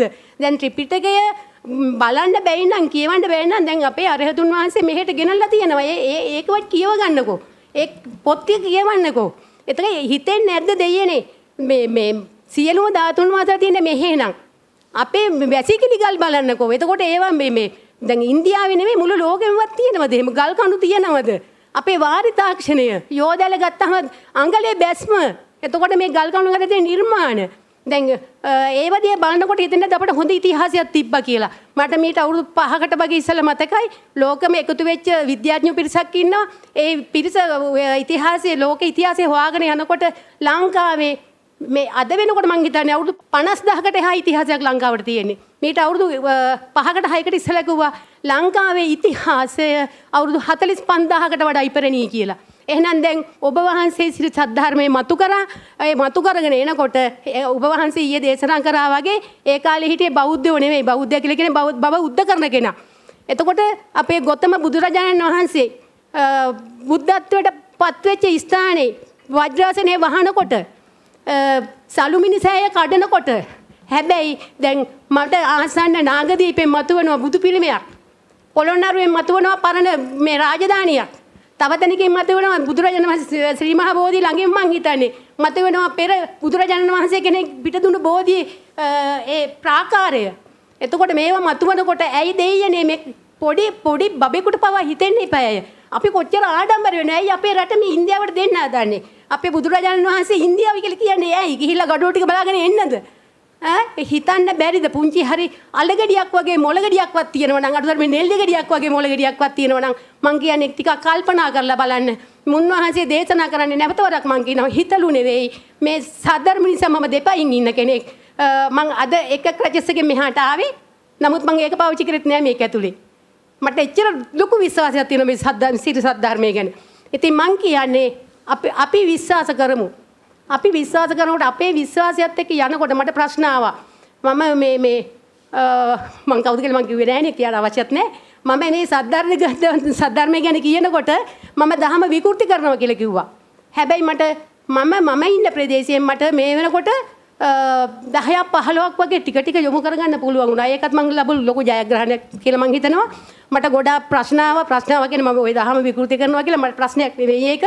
මම මම හරි ගමන යනවා නම් මම හරි දේ කරනවා නම් අපි හරි දේ අහනවා නම් කවුරු මොනවාකට ප්‍රශ්නයක් නැහැ. විශ්වය හරි අපිට උදව් කරයි. දෙවියෝ හරි අපිට උදව් කරයි. මේ සිරිදා සිරි සද්ධර්මයේ ආශිර්වාදය අපිට තියෙයි. ඒ නිසා විශ්වාස කරන්න. ඒ පිළිබඳව එතකොට මේ අපිට පුළුවන් අපි මුත්ත මේ මේ මේ මේ තිරසනෙක් කියලා කියන්න? අයියයි නංගි දෙන්න මේ විවාහ වෙලා අපේ ජාතිය ආවි කියලා කියන අපිට ලැජ්ජ නැද්ද? ඉතින් එහෙම ලැජ්ජාවක් තියෙන්න ඕනේ අපිට. එතකොට අර විජය පිරිස මේ මිනිස්සු කරන්න ඕන ලෝකේ හිටපු දරුණු මිනිස්සු. ඒ මිනිස්සු අපේ මේ ඥාතීන් අපේ මුතු මිත්තෝ කියලා කියන අපිට ලැජ්ජාවක් නැද්ද? ඇයි අපි මේ ලැජ්ජ වෙන්නේ අපේ බුදුහාමුදුරුවෝ අපේ නෙවෙයි කියන්නේ. අපි ආඩම්බර වෙන්න එපා. ඒක තමයි වෙන්න ඕනේ. ඒ මේ මේක ආයි වහන්න හම්බෙන්නේ නැහැ හරි තුන් වහන්සේ. ඔබ වහන්සේ මේ කරනා වූ උත්සාහය ඇත්තටම මේ යන්න ඕනි මට කම තිබ්බ යන්න ඕනි කම තිබ්බා. නමුත් මං හිතුවා මම මෙතෙන්ට ඇවිල්ලා මම දෙවෙනි වතාව ආපු ඇවිල්ලා මම යම් කිසි දෙයක් ගත්තා නම් ඒකට ණය නොවෙන්න. අන්තිම අවස්ථාවෙත් මම මෙතන ඉඳලා යන්න ඕනි කියලා. අර මහත්තයෙක් මං කියව ඔබතුමිය මේ කරනවද කතාව? කියලා මං කිව්වා අවස්ථාව ආවොත් කරනවා නැත්තම් ඉතින් කරන්න දෙයක් නැහැ කියලා. ඉතින් මේ ඒ නිද්දා මෙතෙන්ට ආවේ. අනික එක ඊට පස්සේ ඔබ වහන්සේ අපිට සංදේශනාව කරා දතාව ධර්මයේ ඉදිරිපත් කරා ත්‍රිපිරිවට්ටිය කිව්වා පටිච්චසමුපාදය කිව්වා චතුරාර්ය සත්‍ය දේශනා කරා. ඒ හැම දෙයින්ම අපි උකහ ගත්තා. හුඟක් දේවල් හුඟක් දේවල් දැනගත්තා. ගැටුවට ඔක්කොම විසඳුම ආවේ මෙතනින්. මේ සිරිසත් ධර්මය ඇසීමෙන්. නැවත වරක්. සේනාපති ස්වාමීන් වහන්සේටත් ඔබ වහන්සේටත් නිදු නිරෝගී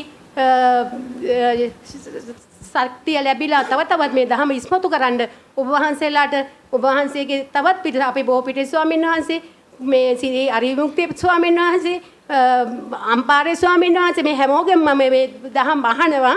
අනික එක මම මෙතෙන්ට යොමුුනේ මගේ මහත්ය නිසා මම රෝද පුටු ඉන්නකොට ණය ගන්න පොත මට මහත්යගෙන දුන්නේ. ඒකට මොකක්වත් දන්නේ ඒක බලනකොට මට පොඩි අදහසක් ආවා. ඊට පස්සේ දැන් නමුත් මහත්ය පිළිගන්නේ මගේ අදහසක් ආවා. මහත්ය අදත් මට මේ මේ මේ පොයේ වැඩසටහන් වලට මම එක්කන් යනවා. මේ තාම සති වැඩසටහනකට ගෙන්න බැලුවා. නමුත් මට YouTube එකේ හිම අරගෙන දෙනවා. ඉතින් මම මේ සද්දර්ම ආන්න ගියේ අර යතුනවාද මම පවක් කරගෙන ඉන්නවද දන්නේ නැහැ අකුසලයක්. මං හොරෙන් ගියේ මහත්තයාට. දවස් හතක් බෝධි පූජාවක් තියෙනවා නගීගේ බබාට කියලා තමයි මම රෙදි ටික අරගෙන මේ දවස් හතේ වැඩසටහනට ගියේ. මං හිතන්නේ ඒක මට අකුසලයක් වෙයි කියලා. මොකද මං හොඳ දෙයක් ගන්න ගියපු නිසා. මම මේ ඉතිහාසයේ සහ සිරිසත් ධර්මයේ අපේ ඉතිහාසයේ සහ සිරිසත් ධර්මයේ තියෙන සත්‍යභාවය මෙතනින් මම තවත් ඉස්සරහට කියන්නේ නැහැ තවත් පිරිසක් ඉන්නවා අපිට කාලය යනවා.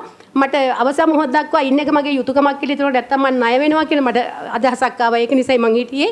ඉතින් කොහොම වුණත් අපි මම ආවේ පළවෙනිදා මෙහෙට. පළවෙනිදා ඉඳන් මේ දක්වා. මේ ගොඩනැගිලි හදලා දීලා කෑම බීම අපිට ලබලා දීලා සියලු කටයුතු හොයලා දීලා. හුඟක් වේසමාන්සිරු සියලු දෙනාටමත් අනන් සංසාරයේ පටම රැස් කරගත්ත වූ සියලු පුණ්‍ය සම්භාරයන් සමසේ කැපකොට අනුමෝදන් කරනවා අනුමෝදන් වෙත්වා. ඒ සියලු දෙනාටම නිවන් අවබෝධය වේවා කියලා අදිෂ්ඨාන කරනවා. ඒ වගේම අපි මෙතෙන්ට ආවේ සැප සම්පත් හොයන්නේ මම ඔබට කියන්නේ. අපි මෙතෙන්ට ඇවිල්ලා සමහර අවස්ථාවල ගැටුම් ආවා. මොකද වතුර නැතුව, ලයිට් නැතුව, ෆෑන් නැතුව ඉන්න වුණා. අපිට ෆෑන් එකක් තිබ්බෙත් නැහැ. නාන්න වතුරක් තිබුණේ නැහැ. අර ඒක පැත්තේ මధు මේ ෆෑන් එක දානවා අපේ පැත්තට වෙලා මధుරෝ කරනවා. නමුත් ඒක ප්‍රශ්නයක් නෙවෙයි. අපි මෙතෙන්ට ආවේ ගහ යට ඉඳගෙන හරි මිදුලේ ඉඳගෙන හරි මේ දහම ගන්න. ඉතින් ඒක අරගන්න ගැටුම් ඇති කරගන්න එපා. ඒකෙන් වෙන්නේ තවත් නව ණය ගන්න දුනවා.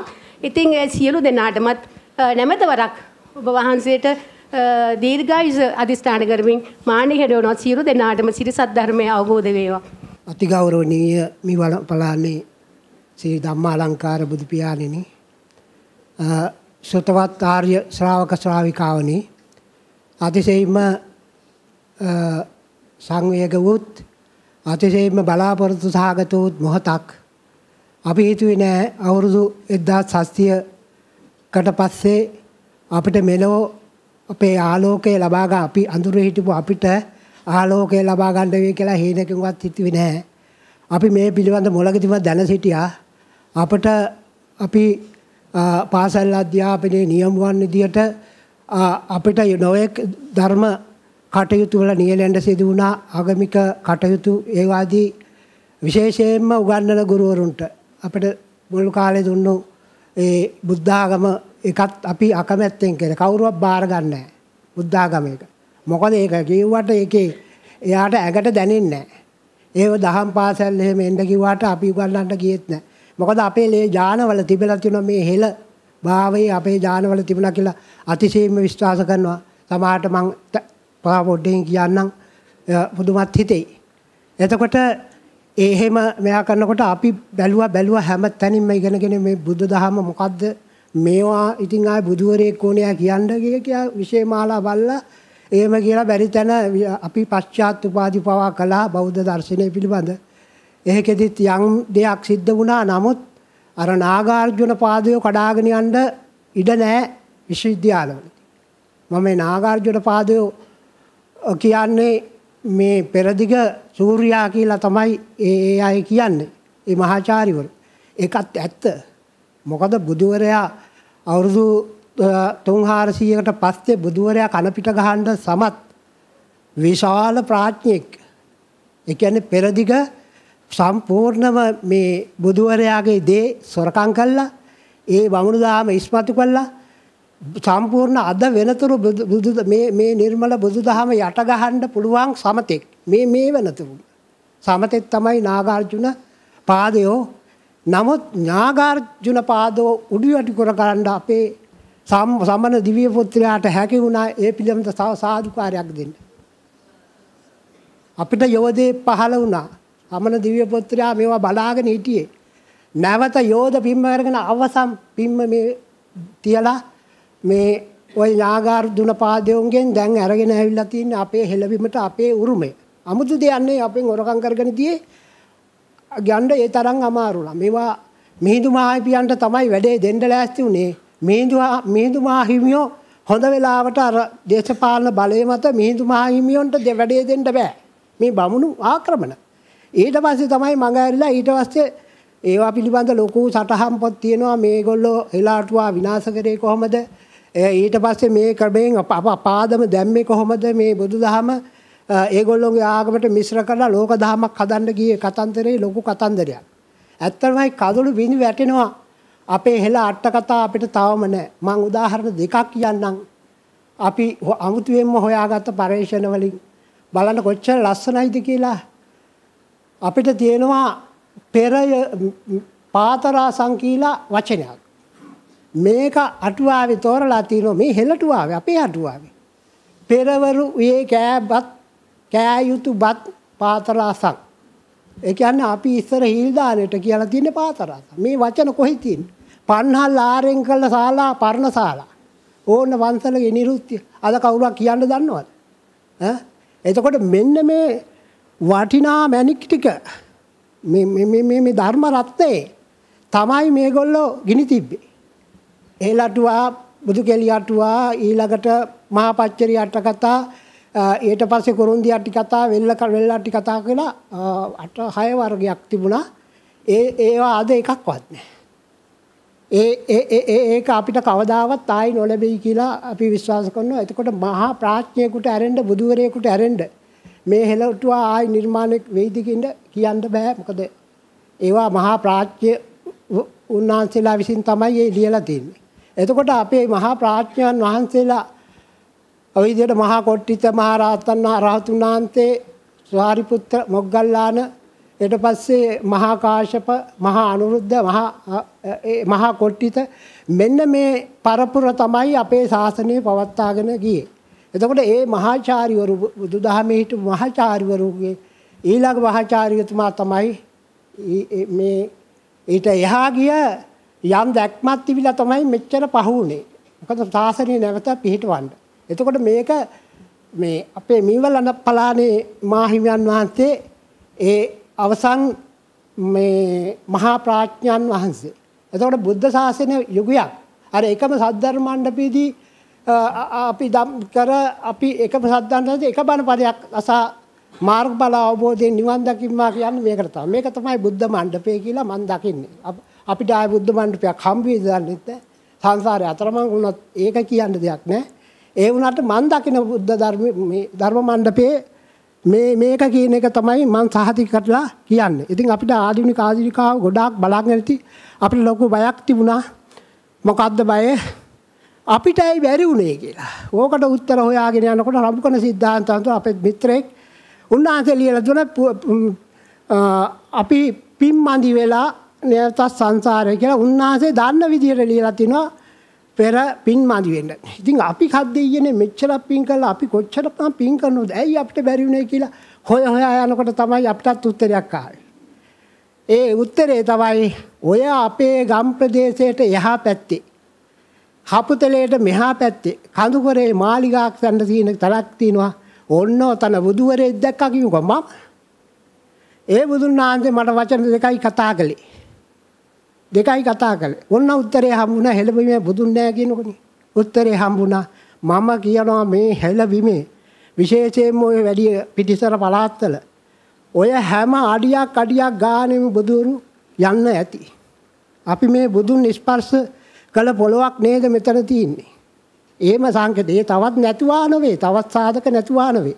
එතකොට මේ බුදුවරු කොච්චර මේ ශ්‍රී ලංකාවේ මේ ශාසනයේ මිනි නිර්වාණ අවබෝධයෙන් ගලායින මේ මේ අපේ හෙළපි මේ පිරිස දිහා බලා ඉන්නව ඇද්ද.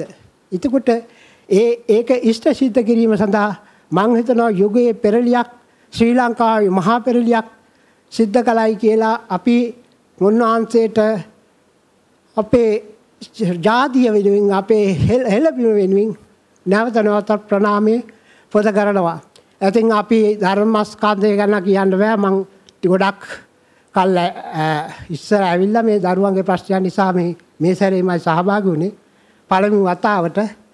එතෙන්දී මට හිතුණා මේ අපිට ආයි හදිසියෙ එන්න බැරුවොත් අපේ ප්‍රණාමය පුද කළා යන්න ඕන මේ ශ්‍රී ලාංකිකයන් මේ බේරා ගැනීම පිළිබඳ කියලා තමයි සඳහන් වුණේ. ඒක ওই කෙසේ වෙතත් අපිට ධර්මය ලැබුණත් වැඩක් නැහැ විනය ලැබුණ නැත්තම්. විනය අපි කොච්චරනම් හෙව්වද? කොහොම හරි විනය කියලා බැරිතන අර මහා මහවග්ගපාලිය ගෙනලා බැලුවා විනය පොත. ඒකෙත් මොකවත් නැහැ තියෙන්නේ. ඔය මේ මේ මාළු දෙනවට දෙන්න සුදුසුද නැද්ද? ඊට පස්සේ ඔය ශික්ෂා පද ටිකක් ඒවා මේවා ටිකක් තියෙනවා අපිට මේ ඊටාම වටහාලා දෙන්න බැරි කවදාවත් කරන්න බැරි විනය පැත්ත අපිට අඳුන්වලා දුන්නා. අපි හැම දෙයක්ම ණය විනය කියන්නේ ගණදිනු කරන ප්‍රමාණයක් තමයි අපි සංසාරේ එක එක්කෙනත් එක්ක සරිසරියත් එක්ක අඩු ගානේ මේ හුස්ම පදක් හුස්ම ගන්නකොට අපි ණය ගෙවලා තියෙනද කියලා බලන්න. නොමිල කොච්චර අනුන්ගේ හුස්ම ඈ අනුන්ගේ වතුර පරිසරයේ දේවල්. ඒකවල මේ මේ දර්ශනය මතු කළා උන්වහන්සේ මතු කළා මේ විනය මතු කළා ওই ජීවියෝ මිනිස්සුයෙකුට ඉස්සෙල්ලා කියලා තියන්නේ මේ බුදුවරුන්ගේ මූණක් කරලා මිනිස්සුයෙකුට දිහා තරහින් බලන්න එපා. මනුස්ස භාවයක් කොච්චර අමාරුද ගන්න. එතකොට එහෙම මනුස්ස එන භාවයත් කාලකන්ණි කරන මේ මේ මේ පිරිස් තින්නවා නේද? අපාය ගාන පුජ්‍යලයා ඉන්න ඉන්නව නේද? දෙවිදත්තලා හැමතැනම ඉන්නව නේද කියලා අපි ටිකක් කල්පනා කළා මේ උන්වහන්සේගේ දෙන විනය පාඩමත් ඉගෙනගෙන අර්ථ ධම්ම නිරුක්තිහිතව තියෙන ඒ පටිච්ච සමුප්පාදයත් මැනවින් ඉගෙනගෙන ධම්මාම දන්පත්පත්තියේ අපේ අර ඒ කාලේ මිහිඳු හිමියන් කාලේ වී කොටන කොටක් කටන්නේ අනිත්‍ය කියනකොට අනිත් එක්ක නම් මොල් ගහෙන් කියනවා දුක්ඛය කියලා. ඊළඟ කියලා කළත් අනත්ත්‍යක. මේ අනිත්‍ය දුක්ඛේ අනත්තේ භාවනා කරමින් ඔයගොල්ලන්ට හොඳ අනාගතයක් තියෙන අපේ දරුවෝ පැටියන්ට අපිත් බය වෙලා හිටියේ. දැන් අපි බය නැහැ අපි රට දරු පැටවු ඉන්නේ විදේශිකයෝ. මම ළඟදිම ආරාධනා කරනවා මේ ශාසනෙත් එක්ක එකතු වෙලා ඒ ශාසනික ප්‍රතිපදාවට අපි මේ මතු කළ ශාසනික ප්‍රතිපදාවට උර දෙන්න.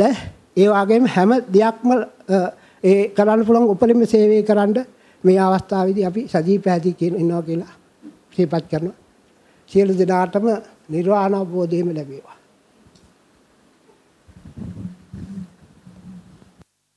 ගෞරවනීය මහරතුන් වහන්සේගෙන් අවසරයි. ඒ වගේම සියලුම ස්වාමින් වහන්සේලාගෙන්ද මෙහෙණින් වහන්සේලාගෙන්ද මේ ස්ථානයේ සිටින සියලුම උපාසක උපාසිකා සියලුම පින්වතුන්ගෙන්ද මේ ධර්මායතනයේ කාර්ය මණ්ඩලයේ සියලු මාංශවල පින්නතුන්ගෙන්ද අවසරයි. මම මගේ නම සරත් මල්ලිකාරච්චි මම පැමිණි හම්බන්තොට ප්‍රදේශයේ සිට අපි මම ඇත්තෙන්ම ජීවිත කාලේ වැඩි කොටසක් ගත කරේ අපි මේ සම්මත පන්සල්වල සම්මත ආගම අදහමි. ඇත්තෙන්ම එතෙන්දී මගේ මොලේට දැනෙන ආකාරයට මම කල්පනා කරමින් හිටියා බුදුන් වහන්සේ දේශනා කර ධර්මය නිවන් දකින ධර්මය මේ මේ අපිට ලැබෙන්නේ ඒකද කියන එක. ඇත්තෙන්ම එහෙම ඉන්න අවස්ථාවක 2016 වසරේ හම්බන්තොට ප්‍රදේශයේ වැඩ වාසය කරන ඒ අපේ බරෝකමුකේ නාරද ස්වාමින් වහන්සේ අපි ළඟින් ඇසුරු කරන ගරුණීය ස්වාමින් වහන්සේ නමක් උන්වහන්සේ මට කිව්වා මහත්මයා මං අපේ ස්වාමින් වහන්සේ නමක් මං වැඩම කරනවා කෝසලාරාම විහාරස්ථානයට මේ නොබෝ දිනකින් ඇවිල්ලා ඒ ධර්ම දේශනාව අහන්න කියලා. ඇත්තම ඉතින් ඒ අපේ නාරද ස්වාමීන් වහන්සේගේ තියෙන පිළිබඳව මගේ තියෙන විශ්වාසය අනුව මම එදා ගිහිල්ලා ඇත්තෙන්ම එදා කලින්ම ගිහිල්ලා හිටියා 11 මාට විතර. අපේ මේ ගෞරවනීය අරහතුන් වහන්සේ වැඩම කර වඩාලා වදාලා. ඉතින් ඒ එදා ඒ ධර්මය මම එදා ඇහුවා. ඇහුවට ඇත්තෙන්ම ඉතින් මට ඒක ලොකුවට ප්‍රත්‍යක්ෂ කරගන්න බැරි වුණත් මට හිතුණා මේ මම මේ මේ ජීවිත කාලය තුල අහපු ධර්මය නෙමෙයි මේ ඇහුවේ කියලා. ඉතින් එතනදී මට තේරුණා මම යම්කිසි තේරුමකට ආ මෙතන වෙන්න පුළුවන් මේ නිවන් දකින්න ධර්මයේ මේක වෙන්න පුළුවන් කියලා. ඊට පස්සේ ධර්ම දේශනාව අවසන් වෙලා කවුරුත් ගියයින් පස්සේ ස්වාමීන් වහන්සේ නාරද ස්වාමීන් වහන්සේ මගෙන් ඇහුවා මට සුදුවයි කියලා කියන්නේ සුදුවයි මොකද කියන්නේ කියලා. මං කිව්වා ලොකු හාමුදුරනේ මේ මට ඒ පිළිබඳව නම් ඇත්තෙන්ම ඉතින් ලොකු තියෙනවා මේ මේ සද්ධාාවක් ඇති වුණා මේ අවස්ථාවේ නම් කියලා. ආ එහෙනම් ඉතින් අපිත් එක්ක යමු කියලා මට එදා කිව්වා. ඉතින් ඊට පස්සේ මම උන්වහන්සේගේ පස්සෙන් මම හිටියා ඊට පස්සේ 2018 වසරේ 2017 වසරේ 2018 වසරේත් ගෞරවනීය මහරහතුන් වහන්සේ ඒ සූර්යව බද්දේව විහාරස්ථානයේදී සිදු කළ ඒ සද්දින බුද්ධ වන්දනා වැඩසටහන් දෙකටම මම සහභාගී වුණා. හැබැයි ඒත් මට ලොකුවට අවබෝධයක් මේ සම්බන්ධයෙන් ලැබුණේ නැහැ. ඒත් මම මේ ඒ සම්බන්ධයෙන් ලැබුණේ නැති වුණත් මට මගේ හිතේ තියෙනවා මෙතන තමයි ධහම තියෙන්නේ කියලා.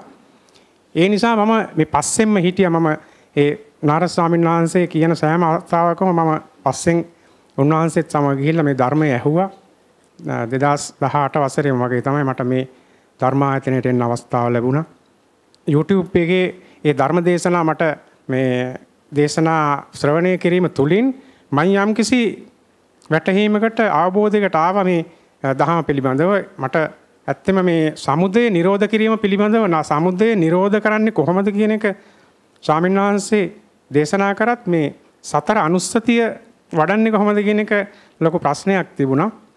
බුද්ධ භාවනා වැඩසටහනට සහභාගී වුණා 2023 වසරේ 2022 වසරේ අප්‍රේල් මාසේ මට කලින් කතා කරේ හම්බන්තොට ප්‍රදේශයේ මහත්මයාත් සමග තමයි මම සහභාගී වුණේ. ඉතින් ඇත්තෙන්ම එතෙන්දි මම යම්කිසි වැටහීමක් ගත්තා මේ සමුදය නිරෝධ කිරීම සම්බන්ධයෙන්. ඉන්පස්සේ මට ඒ ධර්මදේශනා ඒ අන්තර්ජාලයෙන් අහන නිතරම අහන කාලවක අනුවේ මට යම්කිසි සිද්ධියක් වුණා මේ මම මේ කවුරුත් දන්නවා ඇති මේ මාතර මෙහෙණින් වහන්සේ මට යම්කිසි අවස්ථාවක ධර්මතාවයෙන් හම්බ වෙලා මාත් එක්ක කතා කරන අවස්ථාවේ මට කිව්වා ඔබතුමා හිරිවඩුන්නේ ගියාද කියලා. ඉතින් මං කිව්වා නෑ මෙහෙණින් වහන්සේ මං ගියේ නැහැ කියලා. ඉතින් මට කිව්වා යන්න ගිහිල්ලා එන්න කියලා. ඉතින් ඒ අවස්ථාවෙත් මම අර දැන් කතා කර මහත්මයාත් සමග තමයි අපි දෙන්න ගිහිල්ලා හිරිවඩුනට ගිහිල්ලා ඒ කටයුතු කරලා පැමිණියා. ඊට පස්සේ මම මේ ධර්ම ධර්ම දේශනා YouTube එකේ අහනකොට ඇත්ත වශයෙන්ම මම දන්නේ මට මොකක් වුණාද කියලා අර සතර අනුස්සතිය මට නොතේරුණු තැන ඇත්තම මට ලොකු විදියට මට ඒක ඇත්තම වැටහෙන්න ගත්තා මේ සතර අනුස්සතිය වඩන ආකාරය. මොකද මරණානුස්සතිය වැඩිම තමයි ගොඩක්ම මේ මට ලොකු ප්‍රශ්නයක් තිබුණේ. මට ඇත්තෙන් මේක කොහොම ආවද මන් දන්නේ මට ඊට පස්සේ මට තිබුණු බයක් මගේ නැති වුණා. ඇත්තම මට සමුදය නිරෝධ කිරීම සතර අනුස්සතිය වැඩිම මට මගේ මම දරන ස්වභාව මම දරන ප්‍රමාණයට අනුව මට පුළුවන් කියන හැකියා මේ තීරණය මට ඒ වැටහීම මට ආවා අදහස මට ආවා. එහෙම ඉන්න අවස්ථාවක තමයි මේ මාස දෙවනිදා අපි හම්බන්තොට ප්‍රදේශයෙන් එකොළොස් දෙනෙක් අර මම කතා කර මහත්මයාගේ නිවසේ ඒ කීප දෙනෙකුත් මගේ වැඩිමහා සහෝදරියත් වැඩිමහා සහෝදරියගේ ස්වාමි පුරුෂයත් ඒ ප්‍රදේශයේ කීප දෙනෙක් 11 දෙනෙක් අපි දෙවනිදා ඇවිල්ලා ඒ මේ තියෙන උපරිම පහසුකම් යටතේ අපි මේ ධර්ම දේශනාව අරහතුන් වහන්සේගේ ධර්ම දේශනාවට සමන් දුන්නා. අපි ඒ අනුව ගමන් කරනවා. ඇත්ත වශයෙන්ම මේ තෙවන අවස්ථාව මම පැමිණි බුද්ධ භාවනා අර්සනාන මේ ධර්මායතනයේ ඉතින් මම ලොකු අවබෝධයක් ලබාගත්ත මේ අද මේ දවස් හත තුළ ඇත්තෙන්ම ඒ ලබාගත් අවබෝධය තුළ මට දැන් බයකින් තොරව මට මැරෙන්න පුළුවන් කියනක මට විශ්වාසයි. ඇත්ත මොකද මම මැරණ අවස්ථාව මට ඇත්තෙම මරණානුස්සතිය මතක් වේ කියලා මට හිතෙනවා. ඉතින් ඒක ඒක මට ලොකු විශ්වාසයක් තියෙනවා. ඒ ගැන මට කිසිම අවිශ්වාසයක් නැහැ. ඇත්ත වශයෙන්ම ඒ ඒ සම්බන්ධයෙන් ගෞරවනීය අරහතුන් වහන්සේට පාද නමස්කාර කළ යුතුයි. ඒ වගේම මම වැඩි වෙලාවක් කතා කරන්න බලාපොරොත්තු වෙන්නේ නැහැ. තවත් කාරණාවක් කියන්න තියෙනවා. ඒ අපි මේ දෙවනිදා මෙහාට පැමිණි අවස්ථාවේ පටන් මේ මොහොත දක්වා මේ ධර්මායතනය තුළ ඒ කාර්ය මණ්ඩලය ප්‍රධාන කාර්ය මණ්ඩලය ඒ මුළුතැන්ගේ කාර්ය මණ්ඩලය ඇතුළු සියලුම ඒ මාධ්‍යකගේ කාර්ය මණ්ඩලේ සියලුම දෙනා අපිත් සමග ඇත්තම මෛත්‍රියෙන් යුක්තව මෛත්‍රියෙන් යුක්ත එක වචනයක් නෑ මෛත්‍රිය නැති. කතා අපිට සලකමින් අපගේ ඒ ප්‍රත්‍ය පහසුකම් සලසමින් අපට ඒ අවස්ථාව අවස්ථාව සලසා දුන්නු ඒ සියලුම දෙනාට මම කෘතගුණ පූර්වක පුණ්‍යානුමෝදනාව පුද කරනවා. ඒ වගේම මම ඉල්ලීමක් කරන්න සතුටුයි මේ අපේ සියලුම උපාසක උපාසක උපාසිකා පින්නතුන්ගෙන් ඇත්ත වශයෙන්ම අපි කළ යුත්තේ අපි මොනවා කතා කරත් අපි අරහතුන් වහන්සේ දේශනා කරපු මේ දහම ඉදිරියට ගෙන යන්න නම් අපි අපි මුල් තැන ගත යුත්තේ වෙන මොකුත්ම නෙමෙයි මේ අනුසය නිරෝධ කිරීම සතර අනුස්සතිය වඩනවා නම් අපි අන්න ඒ ටික කරගෙන යනවා නම් මේ දහම රැකේ විස්සරහට අන්න ඒ ටික කරගෙන යමුයි කියලා අදිෂ්ඨාන කරමින් මම නිහඬ වෙනවා. ගෞරවනීය අනුබුදු පියාණන් වහන්සේට පාද නමස්කාර පූර්වකව මම මිසි සඳහන් කරමි. මම මම අද මෙතන ඉන්නේ මගේ වැඩිමහල් සහෝදරිය නිසා. ඇය දැන් අවුරුදු හතරකට පහකට වැඩිය ඉස්සරලා මේ ආයතනෙට මෙතෙන්ට අපේ අරහතුන් වහන්සේගේ බණ අහලා පැහැදිලා ඇය ඒ ධර්ම මාර්ගය අනුගමනය කරනවා. ඉතින් මටත් හැම වෙලාවෙම කියපු වෙලාව එකක් තමයි නංගි ඔයාට ඔය ධර්මය ගන්න පුළුවන්. ඔයා යන්න කියලා. ඉතින් ඒ එක්කම ඇය කිව්වා මේ ඔයාට තව කම්මාවරණ ටිකක් ඇති. ඒකයි ඔයාට තාම ওই ගමන යන්න බැරි වුණේ කියලා. ඉතින් මම මේ පාර හිතාගත්තා මේ මම මේ සැරේ කොහොමත් කොහොම හරි මේ යනවා කියලා. ඉතින් එන්න ඉස්සරලා මට කිව්වා මේ ඔයාගේ කකුලුත් ඉදිමිලා ඔයාට සනීපත් නැහැ. එහෙම තියෙද්දි දැන් කොහොමද ඔයා ඔතන ගිහින් කොහොමද ඉන්නේ කියලා මං කිව්වා. මට දැන් මෙහෙම ඉන්න ඉන්න වයසට යනකොට තවත් මීට වැඩිය බැරි වෙනවා. එතකොට මං කොහොමද යන්නේ? මම මෙතන මැරුණත් මං මේ ගමන යනවා කියලා මම හිතාගත්තා. මම මගේ සොහොයුරියට පින් කැපකොට අනුමෝදන් කරනවා. ඒ වගේම මම ඉපදුනේ මැදවච්චිය ප්‍රදේශේ. මේ මම දැන් ජීවත් වෙන්නේ කොළඹ. ඉතින් මම සතුටු වෙනවා මම මේ රජරට ප්‍රදේශේ ඒ මේ බුද්ධ භූමියක ඉපදීම පිළිබඳව. මට ගොඩක් ජීවිතය ගැන දුක වේදනාව ඒවා තේරුම් ගත් මේ අපේ ගමේ ඉඳලා මෙතෙන්ට ආව ගමන ලේසි පහසු ගමනක් නෙවෙයි දුක් විඳලා ඉගෙනගෙන එහෙම මෙතෙන්ට ආවේ. ඉතින් ඒ එන ගමනේදී මම සේවය කරෙත් රෝගීන් එක්ක. ඉතින් මට හරියට ජීවිතය ගැන ගොඩාක් මේ කලකිරීම තිබුණා. ඉතින් ඒවා සුඟක් වෙලාවට ගෙදර ආවහමත් මේ ඒවා හුඟක් එතන එතනදීම ඒ සිද්ධිය ඉවර කරන්නේ නැතුව අපි ඒව ගෙදරත් අරන් එනවා. ඒ අරන් ආවහමත් අපේ හිත කොච්චර නොසන්සුන්ද. ඉතින් මේ ධර්මය අවබෝධ කරගත්තට පස්සේ අවබෝධ කරගත්තේ නෑ. මම මේ මේ මේ අවස්ථාවේදී නම් මම හිරු ළඟ කලාමිදිරියෙක් වගේ මේ ඉතින් කොහොම හරි මම YouTube එකෙන් ආර්ය උත්තම උත්තමාවියන් පවසන ධර්ම දේශනාවන් මං ඇහුවා.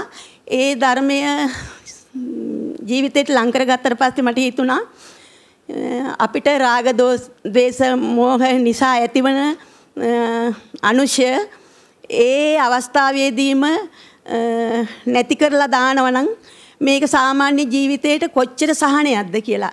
ඒ වගේම මගේ අක්කා මට කියලා දුන්නා කෑම පිඟාන අතට ගත්තාම ඒක අතට අරගෙන මේ වෙනුවෙන් මහන්සි වෙච්චි කාලය ශ්‍රමය ධනය කැප කරපු ඔක්කොටම පින් අනුමෝදන් කරලා මේ ඒක ආහාරයට ගන්න එහෙම කියලා ඒ ඒ දේවල් ටික ටික ක්‍රියාත්මක කරනකොට මට ඒ තුළ හිතුණා කොච්චරනම් සහනයක් ජීවිතේට ලැබෙනවද කියලා. අනික තමයි මම ඉන්දියාවේ ගියා දඹදිව චාරිකාව ගියා. ඉතින් ඒ එහෙම යනකොට මට හිතිච්ච දේ තමයි ඇත්තටම ඒක එහෙම හිතුණා මට. ඉතින් ඒක ඔතනකවත් මේ ගඩොල් ගොඩවල් තියෙනවා කොන්ක්‍රීට් මේවා තියෙනවා. ඒ ඇරෙන්න මේ වෙන කිසි දෙයක් ඉතින් ඒවා හදපු ඒවා කියලා එහෙමත් හිතුණා මට. එහෙම නෙමෙයි දැන් අපේ ලංකාවේ දැන් අපේ මම ජීවත් වෙන ප්‍රදේශෙත් කොහේ බැලුවත් එක්ක ගලක් උඩ පන්සලක් මේ පරණ ක්‍රෞතික වස්තු සඳකඩ පහන් ගල් කණු ඒ හැම තැනම ආර්යයන් වහන්සේලා වැඩ ස්ථාන නේද කියලා හිතුණා. ඉතින් එහෙම බලනකොට අපිට ඇඟේම අපේ බුද්ධ ධර්මයේ තියෙනවා. ඒ වුණාට අපි ගියේ වැරදි මාර්ගයක කියලා හිතෙනවා. හැබැයි ඒ වැරදි තැන්වලට ගිය නිසා තමයි යට අපිට මේ මෙතන තියෙන අගය වැටුනේ කියලාත් මට හිතෙනවා. මම මේ සාමාන්‍ය රාජකාරිය නැති වෙලාව ඕෆ් වෙලාවල් වලදී ගියා ඔය තැන් කීපයකට ගියා භාවනා භාවනා කරන තැන්වලට සිල් ගන්න ගියා. ඒ වගේ කරා. ඉතින් ඒ වගේදී උගන්නන ඒ භාවනාවන් වල ඉතින් සුදු එලි පේනවයි කියනවා, කහ එලි පේනවයි කියනවා. ඉතින් ඒ මොනම එහෙම එලියක්වත් පෙනුනේත් නැහැ. ඒත් ඒවා මොනතරම් මේවා මිත්‍යාවල්ද කියලා දැන් හිතෙනවා. ඉතින් දන්නේ කොහොම හරි හිතනම් ඉතින් ඒ වෙලාවල් වලට සමනේ වුණා. මේ ඉන්දියාවේ ගිය මේ ලංකාවේ බුදුරජාණන් වහන්සේ ඉපදුනා කියලා අපේ අරහතුන් වහන්සේ දේශනා කරාට පස්සේ ඒක ගැන ශ්‍රවණය වුණාට පස්සේ මට හිතිච්ච දෙයක් තමයි ඒ දවස්වල ඉතින් මම තනියම හිතපු දෙයක් තමයි එහෙනම් ලංකාවයි ඉන්දියාවයි එකට තමයි ඒ දවස්වල තිබිලා තියෙන්නේ කියලා. පොඩි තීරුවක් ලංකාවයි ඉන්දියාවේ අතර තියෙන භූගෝලීය වෙනස්කමක් නිසා එහෙම වුණාදෝ කියලා එහෙමත් හිතුවා. මේ අනිත් එක තමයි සංකස්ස නුවරට ගියාම මේ මට හිතුණා ඉතින් ඒ දිව්‍ය ලෝකයේ ඉඳලා මේ ඉනිමඟකින් එන්නේ කොහොමද මේ පහලට කියලා එහෙමත් හිතුණා. දැන් මෙතන ආර්යයන් වහන්සේගෙන් මේ අරහතුන් වහන්සේගෙන් ධර්ම දේශනා අහද්දි තමයි මේ ඒවා හොඳටම හදවතට වැදුනා. ඉතින් මේ මම කියන්නේ මට හිතන එකම දේ තමයි මේ සතර අනුස්සති අපි ප්‍රගුණ කරන ඒ අවස්ථාවලදී අපිට ඇතිවන අනුශයන් ඒ අවස්ථාවේදීම ප්‍රහීණය කරනවා නම් අපේ සාමාන්‍ය ජීවිතයේදී කවදා හරි මරණය වෙන තෙක් සාමාන්‍ය ජීවිතයේදී අපට කොපමණ සහනයක් ලැබෙනවද කියලා. ඒ අනුවම මම අදිෂ්ඨාන කරගන්නවා මේ ධර්ම මාර්ගයේ ඉදිරියටත් මට ගමන් කරන්න ලැබේවා කියලා. ඒ වගේම මම හිතන හැම දෙයක්ම තමයි මෙච්චර මේ උගත්යයි බුද්ධිමත්යයි කියන අපේ ලොකු ලොකු නායක ස්වාමින් වහන්සේලාට. ඒ වගේම මේ උගත්වයි කොටසකුත් ඉන්නවනේ උතන ඒ කට්ටියට ඇයි මේක හිතෙන්නේ නැත්තේ? මේ මේකට මෙහෙම අකුල් හෙලන්න හොඳ නැහැ මේක මේ දියුණු කරලා මේක මේව කරලා අධ්‍යාපනයටත් ඒ ටික යොමු කරන්න ඕන කියලා ටික ටික හරි ඒක හිතෙන්නේ නැත්තේ ඇයි කියලා හිතෙනවා. ඒ වගේම මේ ලෝකයේ මේ මේ විසම චක්‍රයට අහු වෙලා තියෙන ඒ ඒ නායක කාරක ආදීන්ගේ මේ දැස් පෑදේවා කියලා මේ මම අදිස්ථාන කරනවා. ඒ වගේම ඔබ සියලු දෙනාත් එසේ අදිස්ථානය කරන්න. ඒ වගේම අපි ඔච්චරකල් ගොඩක් පලක් නැති දේවල් කෙරුවා. පන්සලේ පිළිම 10ක් තියෙනවා නම් 10ටම බුද්ධ පූජාව තියන්න ඕනේ. 10ටම ගිලම්පස්ස පූජාව තියන්න ඕනේ. ඉතින් මට ඒ වෙලාවේදී හිතිච්ච දෙයක් තමයි ඇයි අපි බුදුහාමුදුරන් වහන්සේගේ නාමයට ශ්‍රී නාමයට උන්වහන්සේගේ ධර්මයට උන්වහන්සේගේ ගුණ කදම්බයට අපි ඒව පූජා කරනවා නම් අපි ප්‍රධාන බුදු පිළිමේ අභියස මේ ඒ බුද්ධ පූජාව තැන්පත් කරාම මදිද කියලා මට නිතරම හිතන එකක් ඒක. එහෙම හිතුණා. ඉතින් ඒ වගේ කොන්ක්‍රීට් මේ චෛත්‍යයන් වලට ධනස්කන්ධයන් වියදම් කරලා ඒ වගේ කිසි හරසුන් දේවල් වලට තමයි මේ රටේ ජනතාවත් පුරුදු වෙලා තියෙන්නේ. ඒ මගින් ඔවුන් සියලු දෙනාම මිදේවා. ඒ වගේම අපේ අරහතුන් වහන්සේට මේ මේ අපිට ඇස්පෑ දපු මේ පුණ්‍ය කර්මෙන් ඔබ වහන්සේට නිදික් නිරෝගී සුවයම අදිෂ්ඨාන කරනවා. ඒ වගේම මේ ධර්මය මේ ලංකාව තුලත් ලෝකයේ තුලත් සියලුම දෙනාට පරම නිබ්බාන සුවයට යාමට මාර්ගයක් වේවා කියලා අදිෂ්ඨාන කරනවා. ඒ වගේම අපි මෙතෙන්ට ආව දවසේ ඉඳලා මේ මෙතන ලොකු ස්වයං විනයක් තියෙනවා. ඒ ස්වයං විනය තියෙන්නේ මේ මේ ධර්ම මාර්ගයේ අපේ අරහතුන් වහන්සේ ඇතුළු ආර්යයන් වහන්සේලා ඒවා ප්‍රගුණ කරලා ඒ අයගේ හදවත් වලට ඒවා කොහොම හරි කාවැදිලා තියෙනවා ඒ කට්ටියට.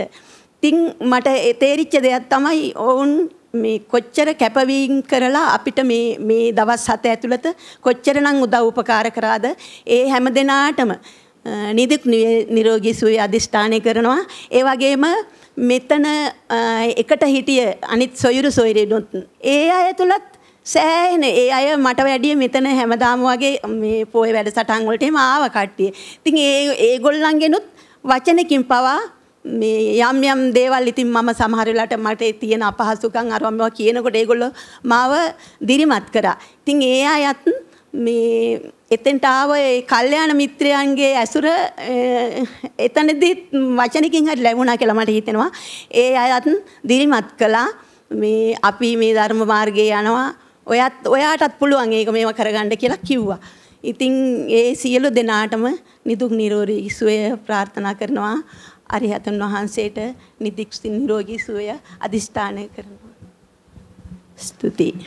අති ගෞරවනීය පූජනීය මහානායක ස්වාමීන් පාදයන් වහන්සේගෙන් පාද නමස්කාරයෙන් අවසරයි වැඩම සිටින මහා සංඝරත්නයන් අවසරයි අනගාരിക මෙනින් වහන්සේ මාගේ කල්යාණ මිත්‍ර හිතවත් මාත්මාත්මාවනි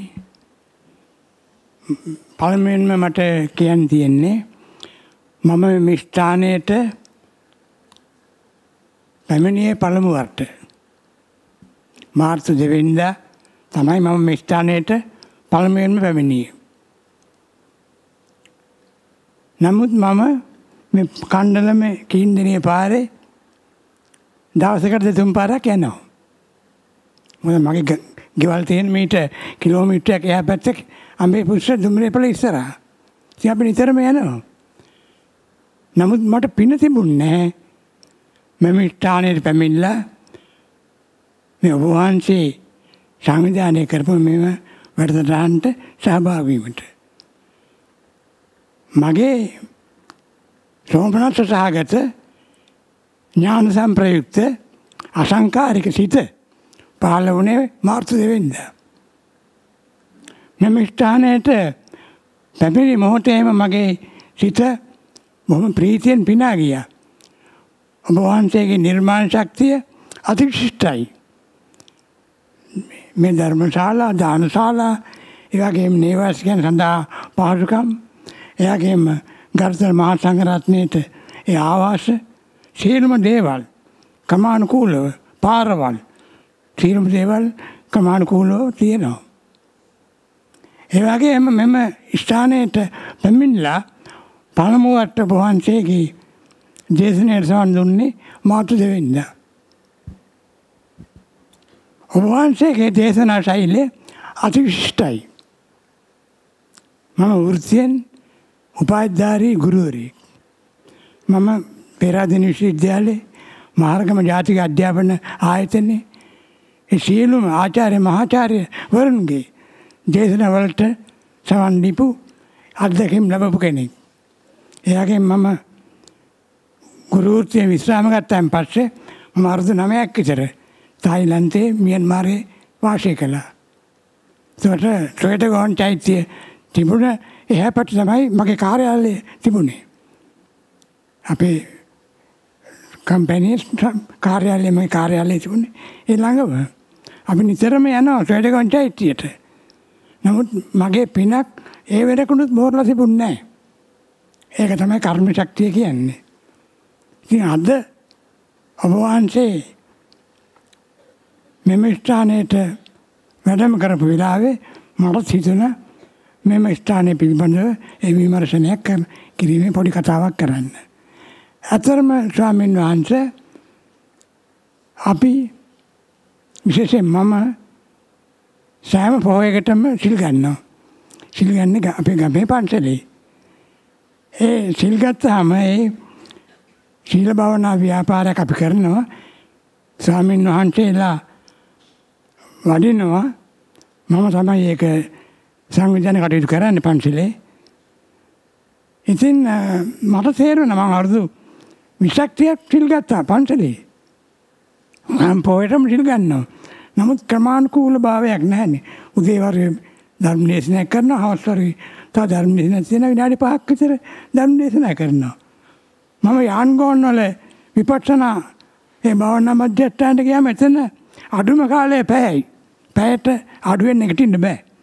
නමුත් අපි අපි කලේ සමත භාවනා බව මෙම ස්ථාන පැමිණියන් පස්සේ තමයි මම දැනගත්තේ. විදර්ශනා භාවනාව අපි පුහුණුන්නේ නැහැ. විදර්ශනා භාවනාවට ප්‍රථමයෙන්ම මාව යොමු වුණේ මාර්තු දෙවෙනිදා. අපිට මෙම ආයතනයෙන් ලබා දුන්න පොත් හතරක් ලබා දුන්න. ඒ පොත්වල තියෙනවා සියලුම කරුණු අන්තර්ගත වෙලා ඔබ වහන්සේ ධර්ම දේශනා කරනකොට ධර්ම සාකච්ඡා කරනකොට ඒ පොතේ පිටුව කියනවා ඒ වගේම ඒ පරිච්ඡේදය ඔක්කොම කියලා තමයි අපි එතන යොමු කරනවා ඉස්සෙල්ලා. ඊට පස්සේ තමයි ඒ පිළිබඳව විග්‍රහය කරන්නේ. ඉතින් ඔබ වහන්සේගේ දේශනා ශෛලිය ගැන අපි මම භවනා කරන මේ සියලුම දෙනා ඉතාමත්ම ප්‍රසාදයට පත් වෙලා ඉන්නවා. එනිසා මෙවන් ආයතනයක් පැවැත්වීම සඳහා අපි ඔබ වහන්සේට ණයක් ඇති මේ ප්‍රදේශවාසීෙක් වශයෙන් ඒ වගේම ඔබ වහන්සේගෙන් සහ ඔබ සමගින් මම මේ අත්තාවි සමාව යදිනවා මෙතෙක් කාලයක් අවුරුදු නමයක් දහයක් විතර වෙනවා මේ ස්ථානේ පටන් අරගෙන මෙතෙක් කාලයක් මෙම ස්ථානයට මට එන්න පිනක් පෑදුන්නේ නැති එක ගැන මම ඇත්තටම අද කනගාටු වෙනවා. ඒ නිසා වැඩිදුර මම සාකච්ඡා කරන්න මම කතා කරන්න බලාපොරොත්තු වෙන්නේ මේ කරුණ ටික. විශේෂයෙන් අපි අභිධර්මයේ පිළිබඳව මෙතෙක්කල් මම භාවිතා කළේ අභිධර්මයේ මම පොත් භාවිතා කරනවා. ඥාන විමල ස්වාමීන් වහන්සේගේ ඒ අභිධර්ම පොත්වලින් අපි යම් කිසි ධර්ම දැනුමක් ලබා ගන්න තියෙනවා. නමුත් අද මේ වන විට දවස් හතක් ගත වූ මේ අවස්ථාවේදී මගේ ධර්මඥානය තා විශාල වශයෙන් වැඩි දියුණු තත්ත්වයකට පත් වෙලා තියෙනවා. ඒ පිළිබඳව ඔබ වහන්සේට මාගේ ගෞරවනීය පාද නමස්කාර ස්තුතිය පෙන්වමින් ඔබ වහන්සේට මෙම මොන යම් යම් බාධා පැමිණුත් අපි දන්නවා. යම් යම් බාධා තියෙන බව. එනිසා මොන යම් බාධා පැමිණුනත් ඔබ වහන්සේ ඒවට එඩිතරව මුහුණ දීලා මෙම ධර්ම ආයතනයේ চিරාත් කාලයක් යෙන් බැජ වේවා කියලා ප්‍රාර්ථනා කරමින් ඔබ සැමට මගේ ගෞරවනීය ස්තුති පිළිගැනීමෙන් මගේ වචන ස්වල්පය මේ අවසන් කරනවා. තෙරුවන් සරණයි. ගෞරෝණීය අරියතුන් වහන්ස භික්ෂු භික්ෂණී උපාසක උපාසිකාව සිව්වනක් පිරිසකින් අවසරයි. මා මෙතෙන්ට පැමිණියේ පළවෙනි වතාවට කෝට්ටේ සිට මගේ නම රෝහිත රූපසිංහ. මම අහලා තියෙනවා ධර්මතාවයක් යෝ පටිච්ච සමුප්පාදං පස්සති සෝ ධම්මං පස්සති. සෝ ධම්මං පස්සති යෝ සෝ මං පස්සති. බුදුන් වහන්සේ දේශනා කරලා තියෙන මෙම ධර්මතාවය අදහස වන්නේ යමෙකු පටිච්ච සමුප්පාදය දැක්ක නම් හේ ධර්මය දැක්කා වෙනවා. යමෙක් ධර්මය දැක්කනම් හේ බුදුන් දැක්කා වෙනවා. ඒ බුදුන් දැක්කා කියලා කියන එක අදහස තමා දැක්ක නැත්තම් බුදුන් දැක්කා බුදුන්ගේ දහම දැක්කා කියන එක. මේ දහම් මේ ධර්මතාවය අනුව පටිච්ච සමුප්පාදය කියන්නේ කුමක්ද කියලා මම සෑහෙන කාලයක් අධ්‍යයනය කලා මහිතන දන්න තරමින් අවුරුද් දොළහක් විතර. ඒ කාලය තුළ අපි කියන අවිද්‍යාපච්චා සංකාර සංකාරපච්චා විඤ්ඥානං විඤ්ඥානපච්චා නාමරූපන් හොම ගිල්ල උපාදානපච්චා බව බවපච්චා ජාති කියලා. ඉතින් මේ කොහෙන් හරි මේ පටිච්ච සම්පාදය කඩාගණ්ඩ ඕනයකුවට මේක කොහෙන්ද කඩාගන්න කියන එක ගැන හරි අවබෝධයක් කිසිම දේශකය දේශකයන් කෙනෙක්ගෙන් හෝ ඒ දේශිකාවකින් මට ලැබුන්නෑ පහුගේ අවුරුත් දොළහක කාලයක් තුළ.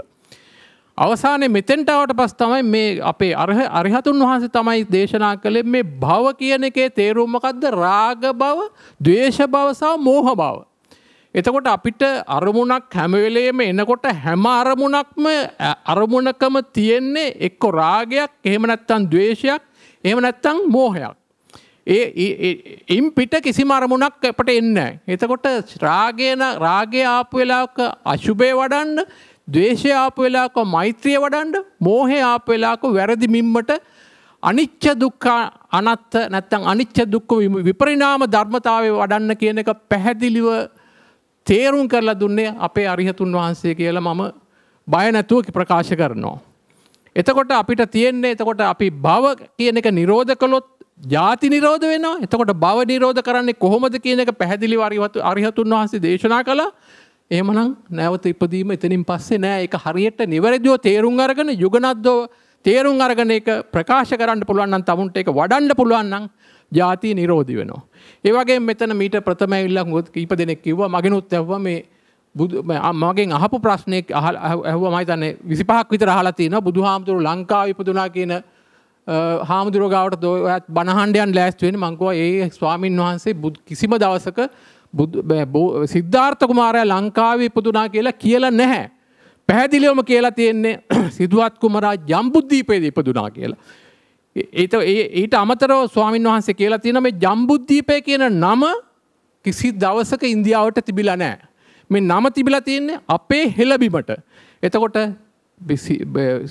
එතකොට සිද්ධාර්ථ කුමාරයා ඉපදිලා තියෙන්නේ මේ හෙළබිමේ නැත්තම් ජම්බුද්දීපය කියන එක තමයි ස්වාමින් වහන්සේ දේශනා කරලා තියෙන්නේ. ඒ විතරක් නෙමෙයි ස්වාමින් වහන්සේ සොයා බලලා තියෙනවා පුරාවිද්‍යා දෙපාර්තමේන්තුවෙන් එතන සොයල බලුහම උන්වහන්සේ සොයාගෙන තියෙනවා කිසිම දවසක ජම්බුද්ධියබේ කියන නාමය ඉන්දියාවට තිබිල නෑ කියලා.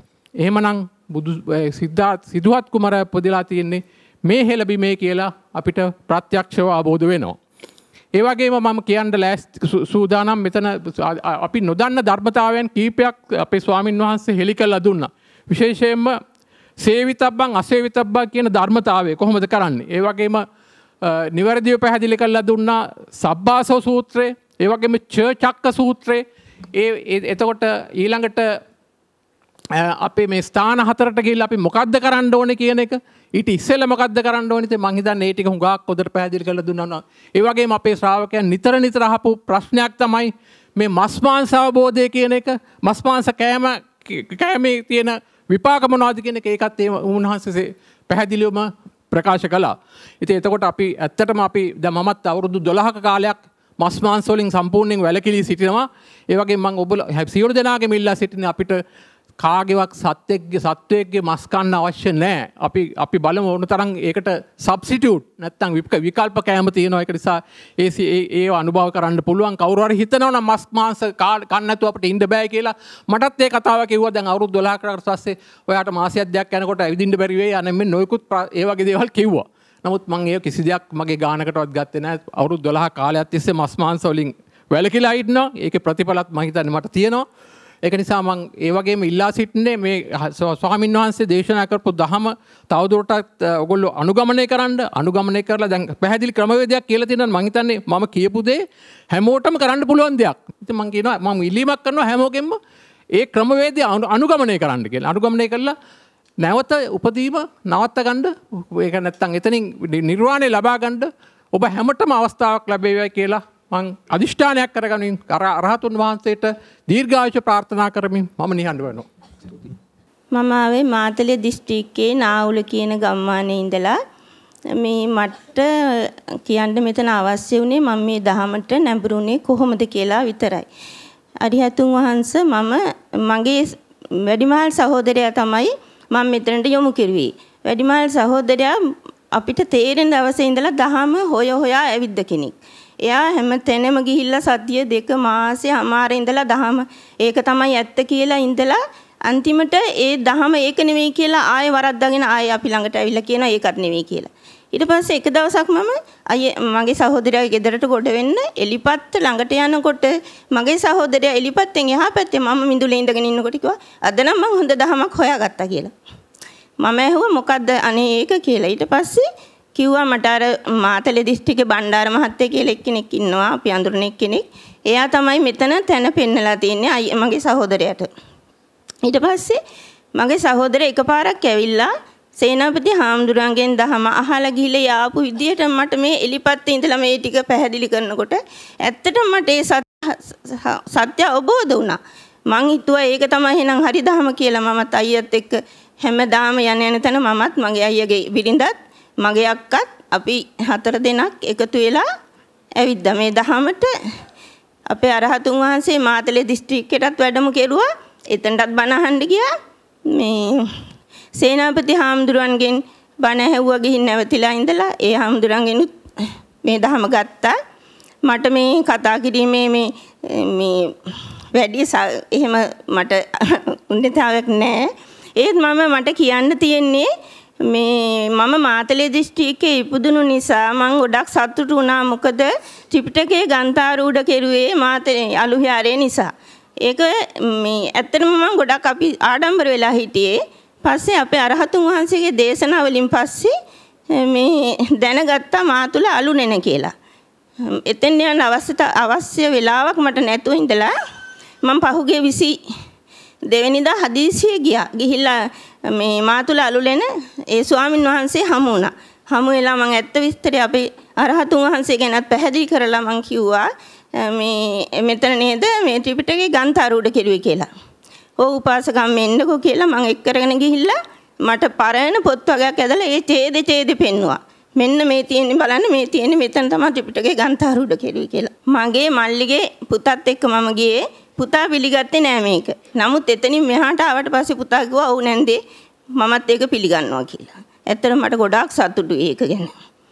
ඊට පස්සේ භාවනා වැඩසටහන සහභාගී වූ දවසේ ඉඳලා ඇත්තටම ගොඩාක් ප්‍රශ්න මතුණා කියන්නේ අපේ කාර්ය මණ්ඩලය හැමදාම හසුරවන්න උනා මොකද සෙනග මේ මිනිස් අපේ ශ්‍රාවකයෝ ගොඩක් වැඩි නිසා. ඇත්තටම අපි අතින් වැරදි වෙන්නත් ඇති. මේ සමහර විට අපි නොදැනුවත්ව ඒවට මම සමාව දින හැම දිනාගෙම ඒ වගේම හැම වැඩකදීම මමත් හොයලා බලලා හැම වැඩක්ම කෙරුවා මොකද අපිට කෑම් බීම හැම ඉදුම් හිටුම් සපයපු නිසා අපේ මේ ණය ගෙවෙන්න. ඇත්තට මම ණය නෑ කියලා හිතනවා මම තවදුරටත් හෙට උදේ මේ මෙතන යන්නේ. එතනනුලුත් මම තවත් මේ පිරිසුදු කිරීමේ වැඩවල නිරත වෙනවා. මට කියන්න තිබුණේ එච්චරයි මම විනාඩි 10ක්වත් ගන්නෑ අනිත් අයටත් අවස්ථාව දෙනවා. හරහතුන් වහන්සේ මේ දේශනා කරන දහම අහලා මමත් ඇත්තටම මම ගොඩාක් පැහැදිලා මමත් තව අයත් මේකට සම්බන්ධ කරලා ඉන්නේ. ඒ වගේ ඒ නිසා අරහතුන් වහන්සේට වටින් පිටින් එන සියලුම කරදර බාධක අප සියලු දෙනාටම අරහතුන් වහන්සේට එනවා කියන්නේ කරදර අපිටයි එන්නේ. ඒ නිසා ඒ සියලු දෙනාටම ළඟදීම ඉතා ඉක්මනින් මේ සත්‍ය වැටෙනවා කියලා මමගේ හිතේ අදිෂ්ඨානයක් තියෙනවා. ඒක ඒ විදිහටම සිදු වේවා කියලා මම අදිෂ්ඨාන කරනවා. අරහතුන් වහන්සේට නිදුක් නිරෝගී සුවය ලැබේවා. අතිපූජනීය මහා ප්‍රඥාන් වහන්සේ ප්‍රදාන සියලුම දෙනාගෙන් අවසරයි මම දෙහිවල ප්‍රදේශයේ මගේ නම වීරසූරිය මේ ස්ථානයට පැමිණි පළවෙනි අවස්ථාවයි මේ බුද්ධ භාවනා වැඩසටහනට. ඒ වැඩසටහනට සහභාගී වෙකු හැටියට කිටි සමාලෝචනයක් කිරීම බලාපොරොත්තුව තියෙන්නේ. අපි බෞද්ධයන් හැටියට විහාරස්ථාන සමග සම්බන්ධව ඒ ස්වාමින් වහන්සේලාගේ ආශ්‍රයෙන් අපි උත්සාහ කරලා අපි ಗುಣධර්ම සත්පුරුෂයන් හැටියට කටයුතු කරන්න අපි හැඩ ගැහිලා තිබුණා. හැඩ ගැහෙනවා අපි. දාන මාන පින්කම් දීමෙන් අනු අදුවට උපකාර කිරීමෙන් අපි තුනා. නමුත් මෙවැනි දහමක් ගැන අපිට වැටහීමක් තිබුණේ නැහැ. මිනිසෙක් හැටියට සුගතිගාමී වෙන්නට ඕනේ කියන අදහස තිබුණා. manussත්වයේ දුර්ලභ නිසා. මේ මාස කිහිපයකට පෙර තමයි මේ මේ YouTube නාලිකා හරහා අපේ අරහතුන් වහන්සේගේ ධර්ම දේශනා නරඹන්නට මට ලැබුණේ. ඒ නැරඹීම තුල තමයි මට මේ පිළිබඳව මට මේ ස්ථානයට ඇවිල්ලා සජීවීව උන්වහන්සේගේ ධර්ම දේශනාවක් අහන්නට ඕනේ කියන සිත ඇති වුණා. විවිධ ගමින් ගමට යන ධර්ම දේශනා වැඩසටහන් වල මේ දේශනා ඒ පැය දෙකක් දෙකමාරක් විතර දැනටත් මම අත්දැක්ක දැන් අපි ආ දවසේ සිටම දින 7 තුලම සෑම දවසකම පැය 4කට වැඩි ප්‍රමාණයක් උන්වහන්සේ අපගේ ධම්මැස පාදා දීම සඳහා උන්වහන්සේගේ කාලය ගත කරනවා. එතකොට ඒ අනුව අපි මේ දවස් 7 තුල මම හිතන්නේ උන්වහන්සේගේම දහම් දේශනා සඳහා පැය 30කට වැඩි කාලයක් අපිට සවන් දෙන්නට ලැබුණා. ඒ වගේම අපිට ඒ අහන්න ලැබුණු ධර්මය මේ විස්තර කර දීමේදී අපි සියලු දෙනාටම ඒ විස්තර කරන්න බලාපොරොත්තු වෙන බුදුරජාණන් වහන්සේ දේශිත සූත්‍ර දේශනා අපිට නොමිලේ පොතක් ලබා දුන්නා. ඉතින් එවැනි අවස්ථා අපිට කවරදාකවත් ධම් දේශනා කිරීමේදී ලැබිලා නැහැ. ඒ නිසා අපිට ඒක ධාරණය කර ගැනීමට යම් වැඩි ඉඩකඩක් තිබුණා. උන්වහන්සේවා වචන අපිට තේරෙන්නේ නැහැ. එමාගදී භාෂාවේ වචන නිසා. නමුත් ඒවයි අදහස් අපට පැහැදිලි කර දුන්නා. ඒ වගේම නැවතත් උන්වහන්සේගේ දේශනා අපිට බලන්නට වෙබ් අඩවිය හරහා බලන්නට ලැබෙන නිසා නැවතත් අපිට ගිහිල්ලා අපිට තවම වටහා ගැනීමට ගැටලුවක් වුණු තැන් නැවත විමසා බලලා අපිට ඒවා හොඳ අවබෝධයක් ලබා ගැනීමට ඇති හැකියාව මෙහි තිබෙනවා. ඒ නිසා මම දැක්ක ආකාරයට මේ යම් කෙනෙක් ඉන්නවා නම් එකවරක් හෝ මේ බුද්ධ භාවනා වැඩසටහනට සහභාගී වෙලා වුණොත් ඊටාම වටිනවා තමන්ගේ ජීවිතයේ අපිට යම්කිසි මනුස්ස ජීවිතයෙන් මග මාර්ගඵලයක්වත් ලබාගෙන ඒ මගට අවතීර්ණ වෙන්නට අවශ්‍ය දැනුම ලබාගෙන ඒ අනුව භාවිතා වෙන්න බාධාවක් නැහැ. මොකද මා හිතන්නේ හැම මිනිස්සෙක්ම යහපත් මිනිස්සෙක් වෙන්නට කැමැති කැමැති කියන එක තමයි මගේ වැටහීම.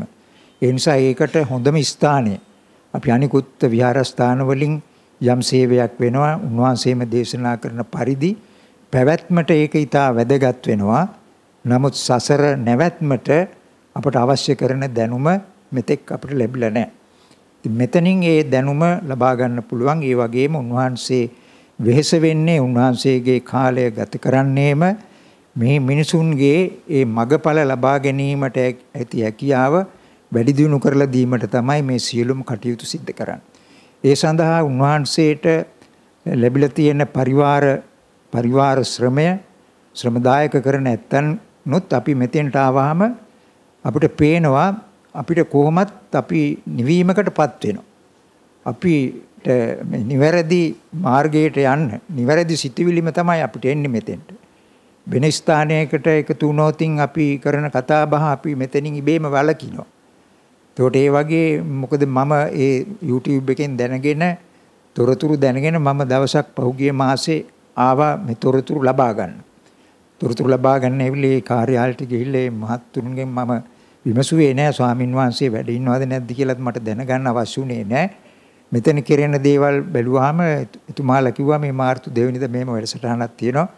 පුළුවන් නම් ඒකට සහභාගී වෙන්න කියලා ඒ අදහස දුන්නේ ඊට පස්සේ පොත්පත් තිබෙනවා උන්වහන්සේ ලියපු පොතක් තියෙනවා නිවන් මාර්ගය දැන ගැනීම සඳහා ලොකු පොතක් මම මේ පොතුත් මේ තිබෙන අනිකුත් පොතුත් අරගෙන ගිහිල්ලා ඒ පසුගිය මාසයේදී ඒවත් කියලා බලලා මට අදහස ඇති වුණා මම කොහොම හරි තියෙන බාධක කරදර කොච්චර තිබුණත් මේ අවස්ථාවට මම සහභාගී වෙන්න ඕන කියලා මම සහභාගී වුණා. ඉතින් මම මට කියන්න පුළුවන් වෙන්නේ මේ අවස්ථාව මේ අහන උදවිය ඉන්නවනම් ඒ මග හරින්නේ නැතුව එක දවසක්වත් භාවනා වැඩසටහනට එන්න නොහැකි නම් යම් කෙනෙක් පොය දවසක තියෙන වැඩසටහනට පැමිණිලා උන්වහන්සේගෙන් සජීවී ධර්මානුශාසනාවක් ධර්මදේශනයක් බලන්න ඒ වගේම උන්වහන්සේ පැය දෙකක් දෙකහමාරක් තිස්සේ එක එක වරුවක දේශනා කිරීමේදී උන්වහන්සේ බුද්ධ දේශනාවලින් පරිබාහිර යමක් සඳහන් කරන්නෙම නැහැ. ඒ ඒ බුද්ධ දේශනාවල තියෙන සූත්‍ර ආශ්‍රය කරගෙනම අපිට පුළුවන්කම තියෙනවා ගිහිල්ලා අපිට මේ වෙබ් අඩ විහාරා සූත්‍රات අපිට ලබා ගන්න පුළුවන්. ඒ දෝෂ සහිත වුණත් ඒ සූත්‍ර බලලා උන්වහන්සේගේ දේශනයත් එක්ක ගලපගෙන අපිට වඩා හොඳ අවබෝධයක් ලබා ගන්න පුළුවන්. උන්වහන්සේගේ එක ධර්ම දේශනාවක් හෝ සජීවීව ඇවිල්ලා ශ්‍රවණය කළොත්. ඒකට මම දැන් සජීවීව ඇවිල්ලා ශ්‍රවණය කරපු කෙනෙක් මම මේ YouTube නාලිකා හරහා ධර්ම දේශනා රාශියක් ශ්‍රවණය කරලා තිබෙනවා. ඉතින් මා ලබාගත් අත්දැකීම ඒකයි මම මේ මෙවන් කටයුතු කරගෙන යන්නට ඒ උන්වහන්සේ දරන ප්‍රයත්නයට ඒ උන්වහන්සේගේ ප්‍රයත්නයට සහයෝගය දක්වන ඒ ආධාර උපකාර කරන හැම දිනාටමත් ඒක තමන්ට ලැබිච්ච මහා පුණ්‍ය කර්මයක් හැටියට මම සලකනවා. ඒ වගේම මෙතන සඳහන් කරන්නට ඕන මේ ස්ථානයේ අපි සතියක් දැන් අපි හිටියා අපට අවශ්‍ය සියලුම පහසුකම් දුන්නා.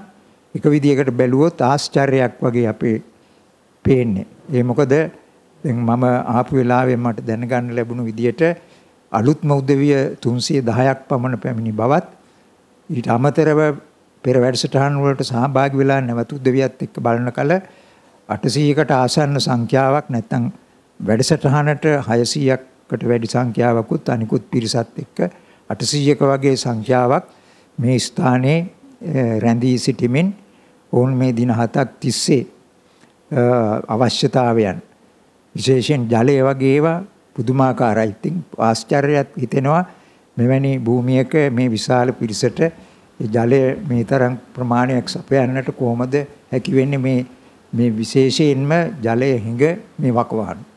ඉතින් නමුත් මේ වැඩසටහන සාර්ථක කරගන්න ස්වභාව ධර්මය හෝ ඒ ධර්මතාවයන් වලත් අනුබලයක් තියෙනවා කියලා අපිට හිතෙනවා.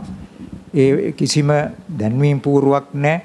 කිසිම ඉල්ලීමක් නැහැ.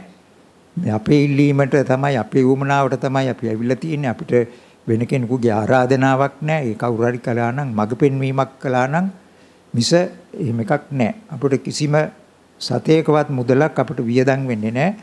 අපි කැමැත්තෙන් අපිට උවමනා නම් අපේ පින්කමක් සඳහා දානයක් බාර ගැනීමට පුළුවන්කම තියෙන ඒ කිසිම දෙයක් එවැනි දැනුවත් කිරීමක්වත් අපිට කළේ නැහැ. අපිම ගිහිල්ලා අහගන්නට ඕනේ එවැනි යමක් අපිට කරන්න පුළුවන්ද කියලා. ඉතින් මෙවැනි තත්වයක් තියෙන බව දැනුවත් කරලා මේ දහම් මගේ යන්න ඕන කෙනෙකුට ඒ මේ අවස්ථාව ප්‍රයෝජනෙට ගන්න කියලා මම මේ සමාලෝචනයෙන් සඳහන් කරන්නට කැමති වෙනවා. ඒ වගේම මේ අපිට ලොකු වාසනාවක් අපිට මාර්ගයේ හෙලිකර දීමක පිළිබඳව ඒ මහා ප්‍රඥාන් වහන්සේට තව තවත් දීර්ඝ කාලයක් මේ කටයුතු කරන්නට අවශ්‍ය නිරෝගී සුවය දීර්ඝායුෂ ලැබේවා කියලා අදිෂ්ඨාන කරමින් ඔබ සියලු දෙනාටමත් ආශිර්වාද කරමින් මම නතර වෙනවා. හොඳයි පින්වතුනි දැන් සමාලෝචන අවස්ථාව අවසానයි. ඔබ සියලු දෙනාම ගිය සෙනසුරාදා මුලින්ම සහභාගී වුණා. අද වෙනකොට සතියක් හිටියා. අපි ඔබ සියලු දෙනාටම වැහිලා තිබුණ පාර විවෘත කරලා දුන්නා. දැන් පාර දකින්න ඕනේ. පාර විවෘත කරලා තියෙනවා. දැන් මම්මුලා වෙන්න එපා. අතරමං වෙන්න එපා. නොමග යන්න එපා. හරි පාර අනුගමනය කරන්න ඔබ කාටවත් වරදින්න. බුද්ධ ශක්තියට අනුගත වෙන්න පරදෝසු ගෝස පස්සේ ලබා ගන්න තමා තුල තියෙන දහම් මැස ධම්මචක්කුම් උදපාදි කරගන්න. ඒ අනුව සමුද්‍රය නිරෝධ කළොත් ඔබට කාටවත් වර්ධින්න. හොඳයි එහෙනම් දැන් අපේ කාල වේලාව අවසానයි. පහළ දානශාලාවේ ඔබ සියලු දෙනාටම ගිලම්පස සකස් කරලා තියෙනවා. ගිලම්පසෙකුත් අරගෙන යන්න ගෙවල් වලට යන්න පුළුවන් අයට යන්න පුළුවන්. යන්න බැරි දුර පළාත් වල අය නොගියට කමක් නැහැ. අද රැටත් අපි කන්න දෙන්න බලාපොරොත්තු වෙනවා. හෙට උදේ යන්න පුළුවන්.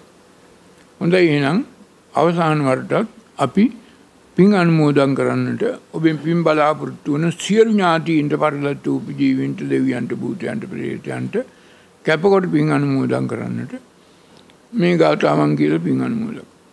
එත්තාවතාච සම්බදම් පුඤ්ඤ සම්පද සබ්බේ දේවා අනුමෝදන්තු සබ්බ සම්පත්ති සිද්ධිය.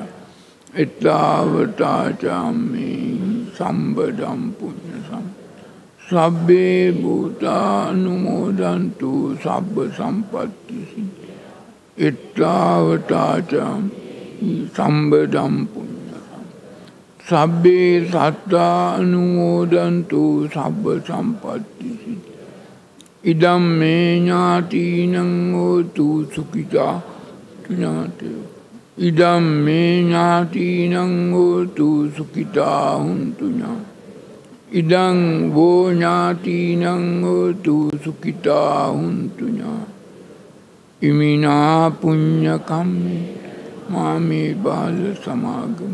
සතං සමා තු යාව නිබ්බානපත් හොඳයි ඔබ සියලු දෙනාටම යාපතක් වේවා සිතක් වා ශාන්තියක් වා සුවපත් වේවා. ධම්මාන් ධම්ම පටිපදාවේ ඇතිරි චතුරාර්ය සත්‍ය ධර්මය අවබෝධ කරගන්නටම මේ සියලු ධර්ම කරුණු කාරණා ඔබ සැමටම උපකාර වේවා උපනිශ්‍රය වේවා හේතු ආසනා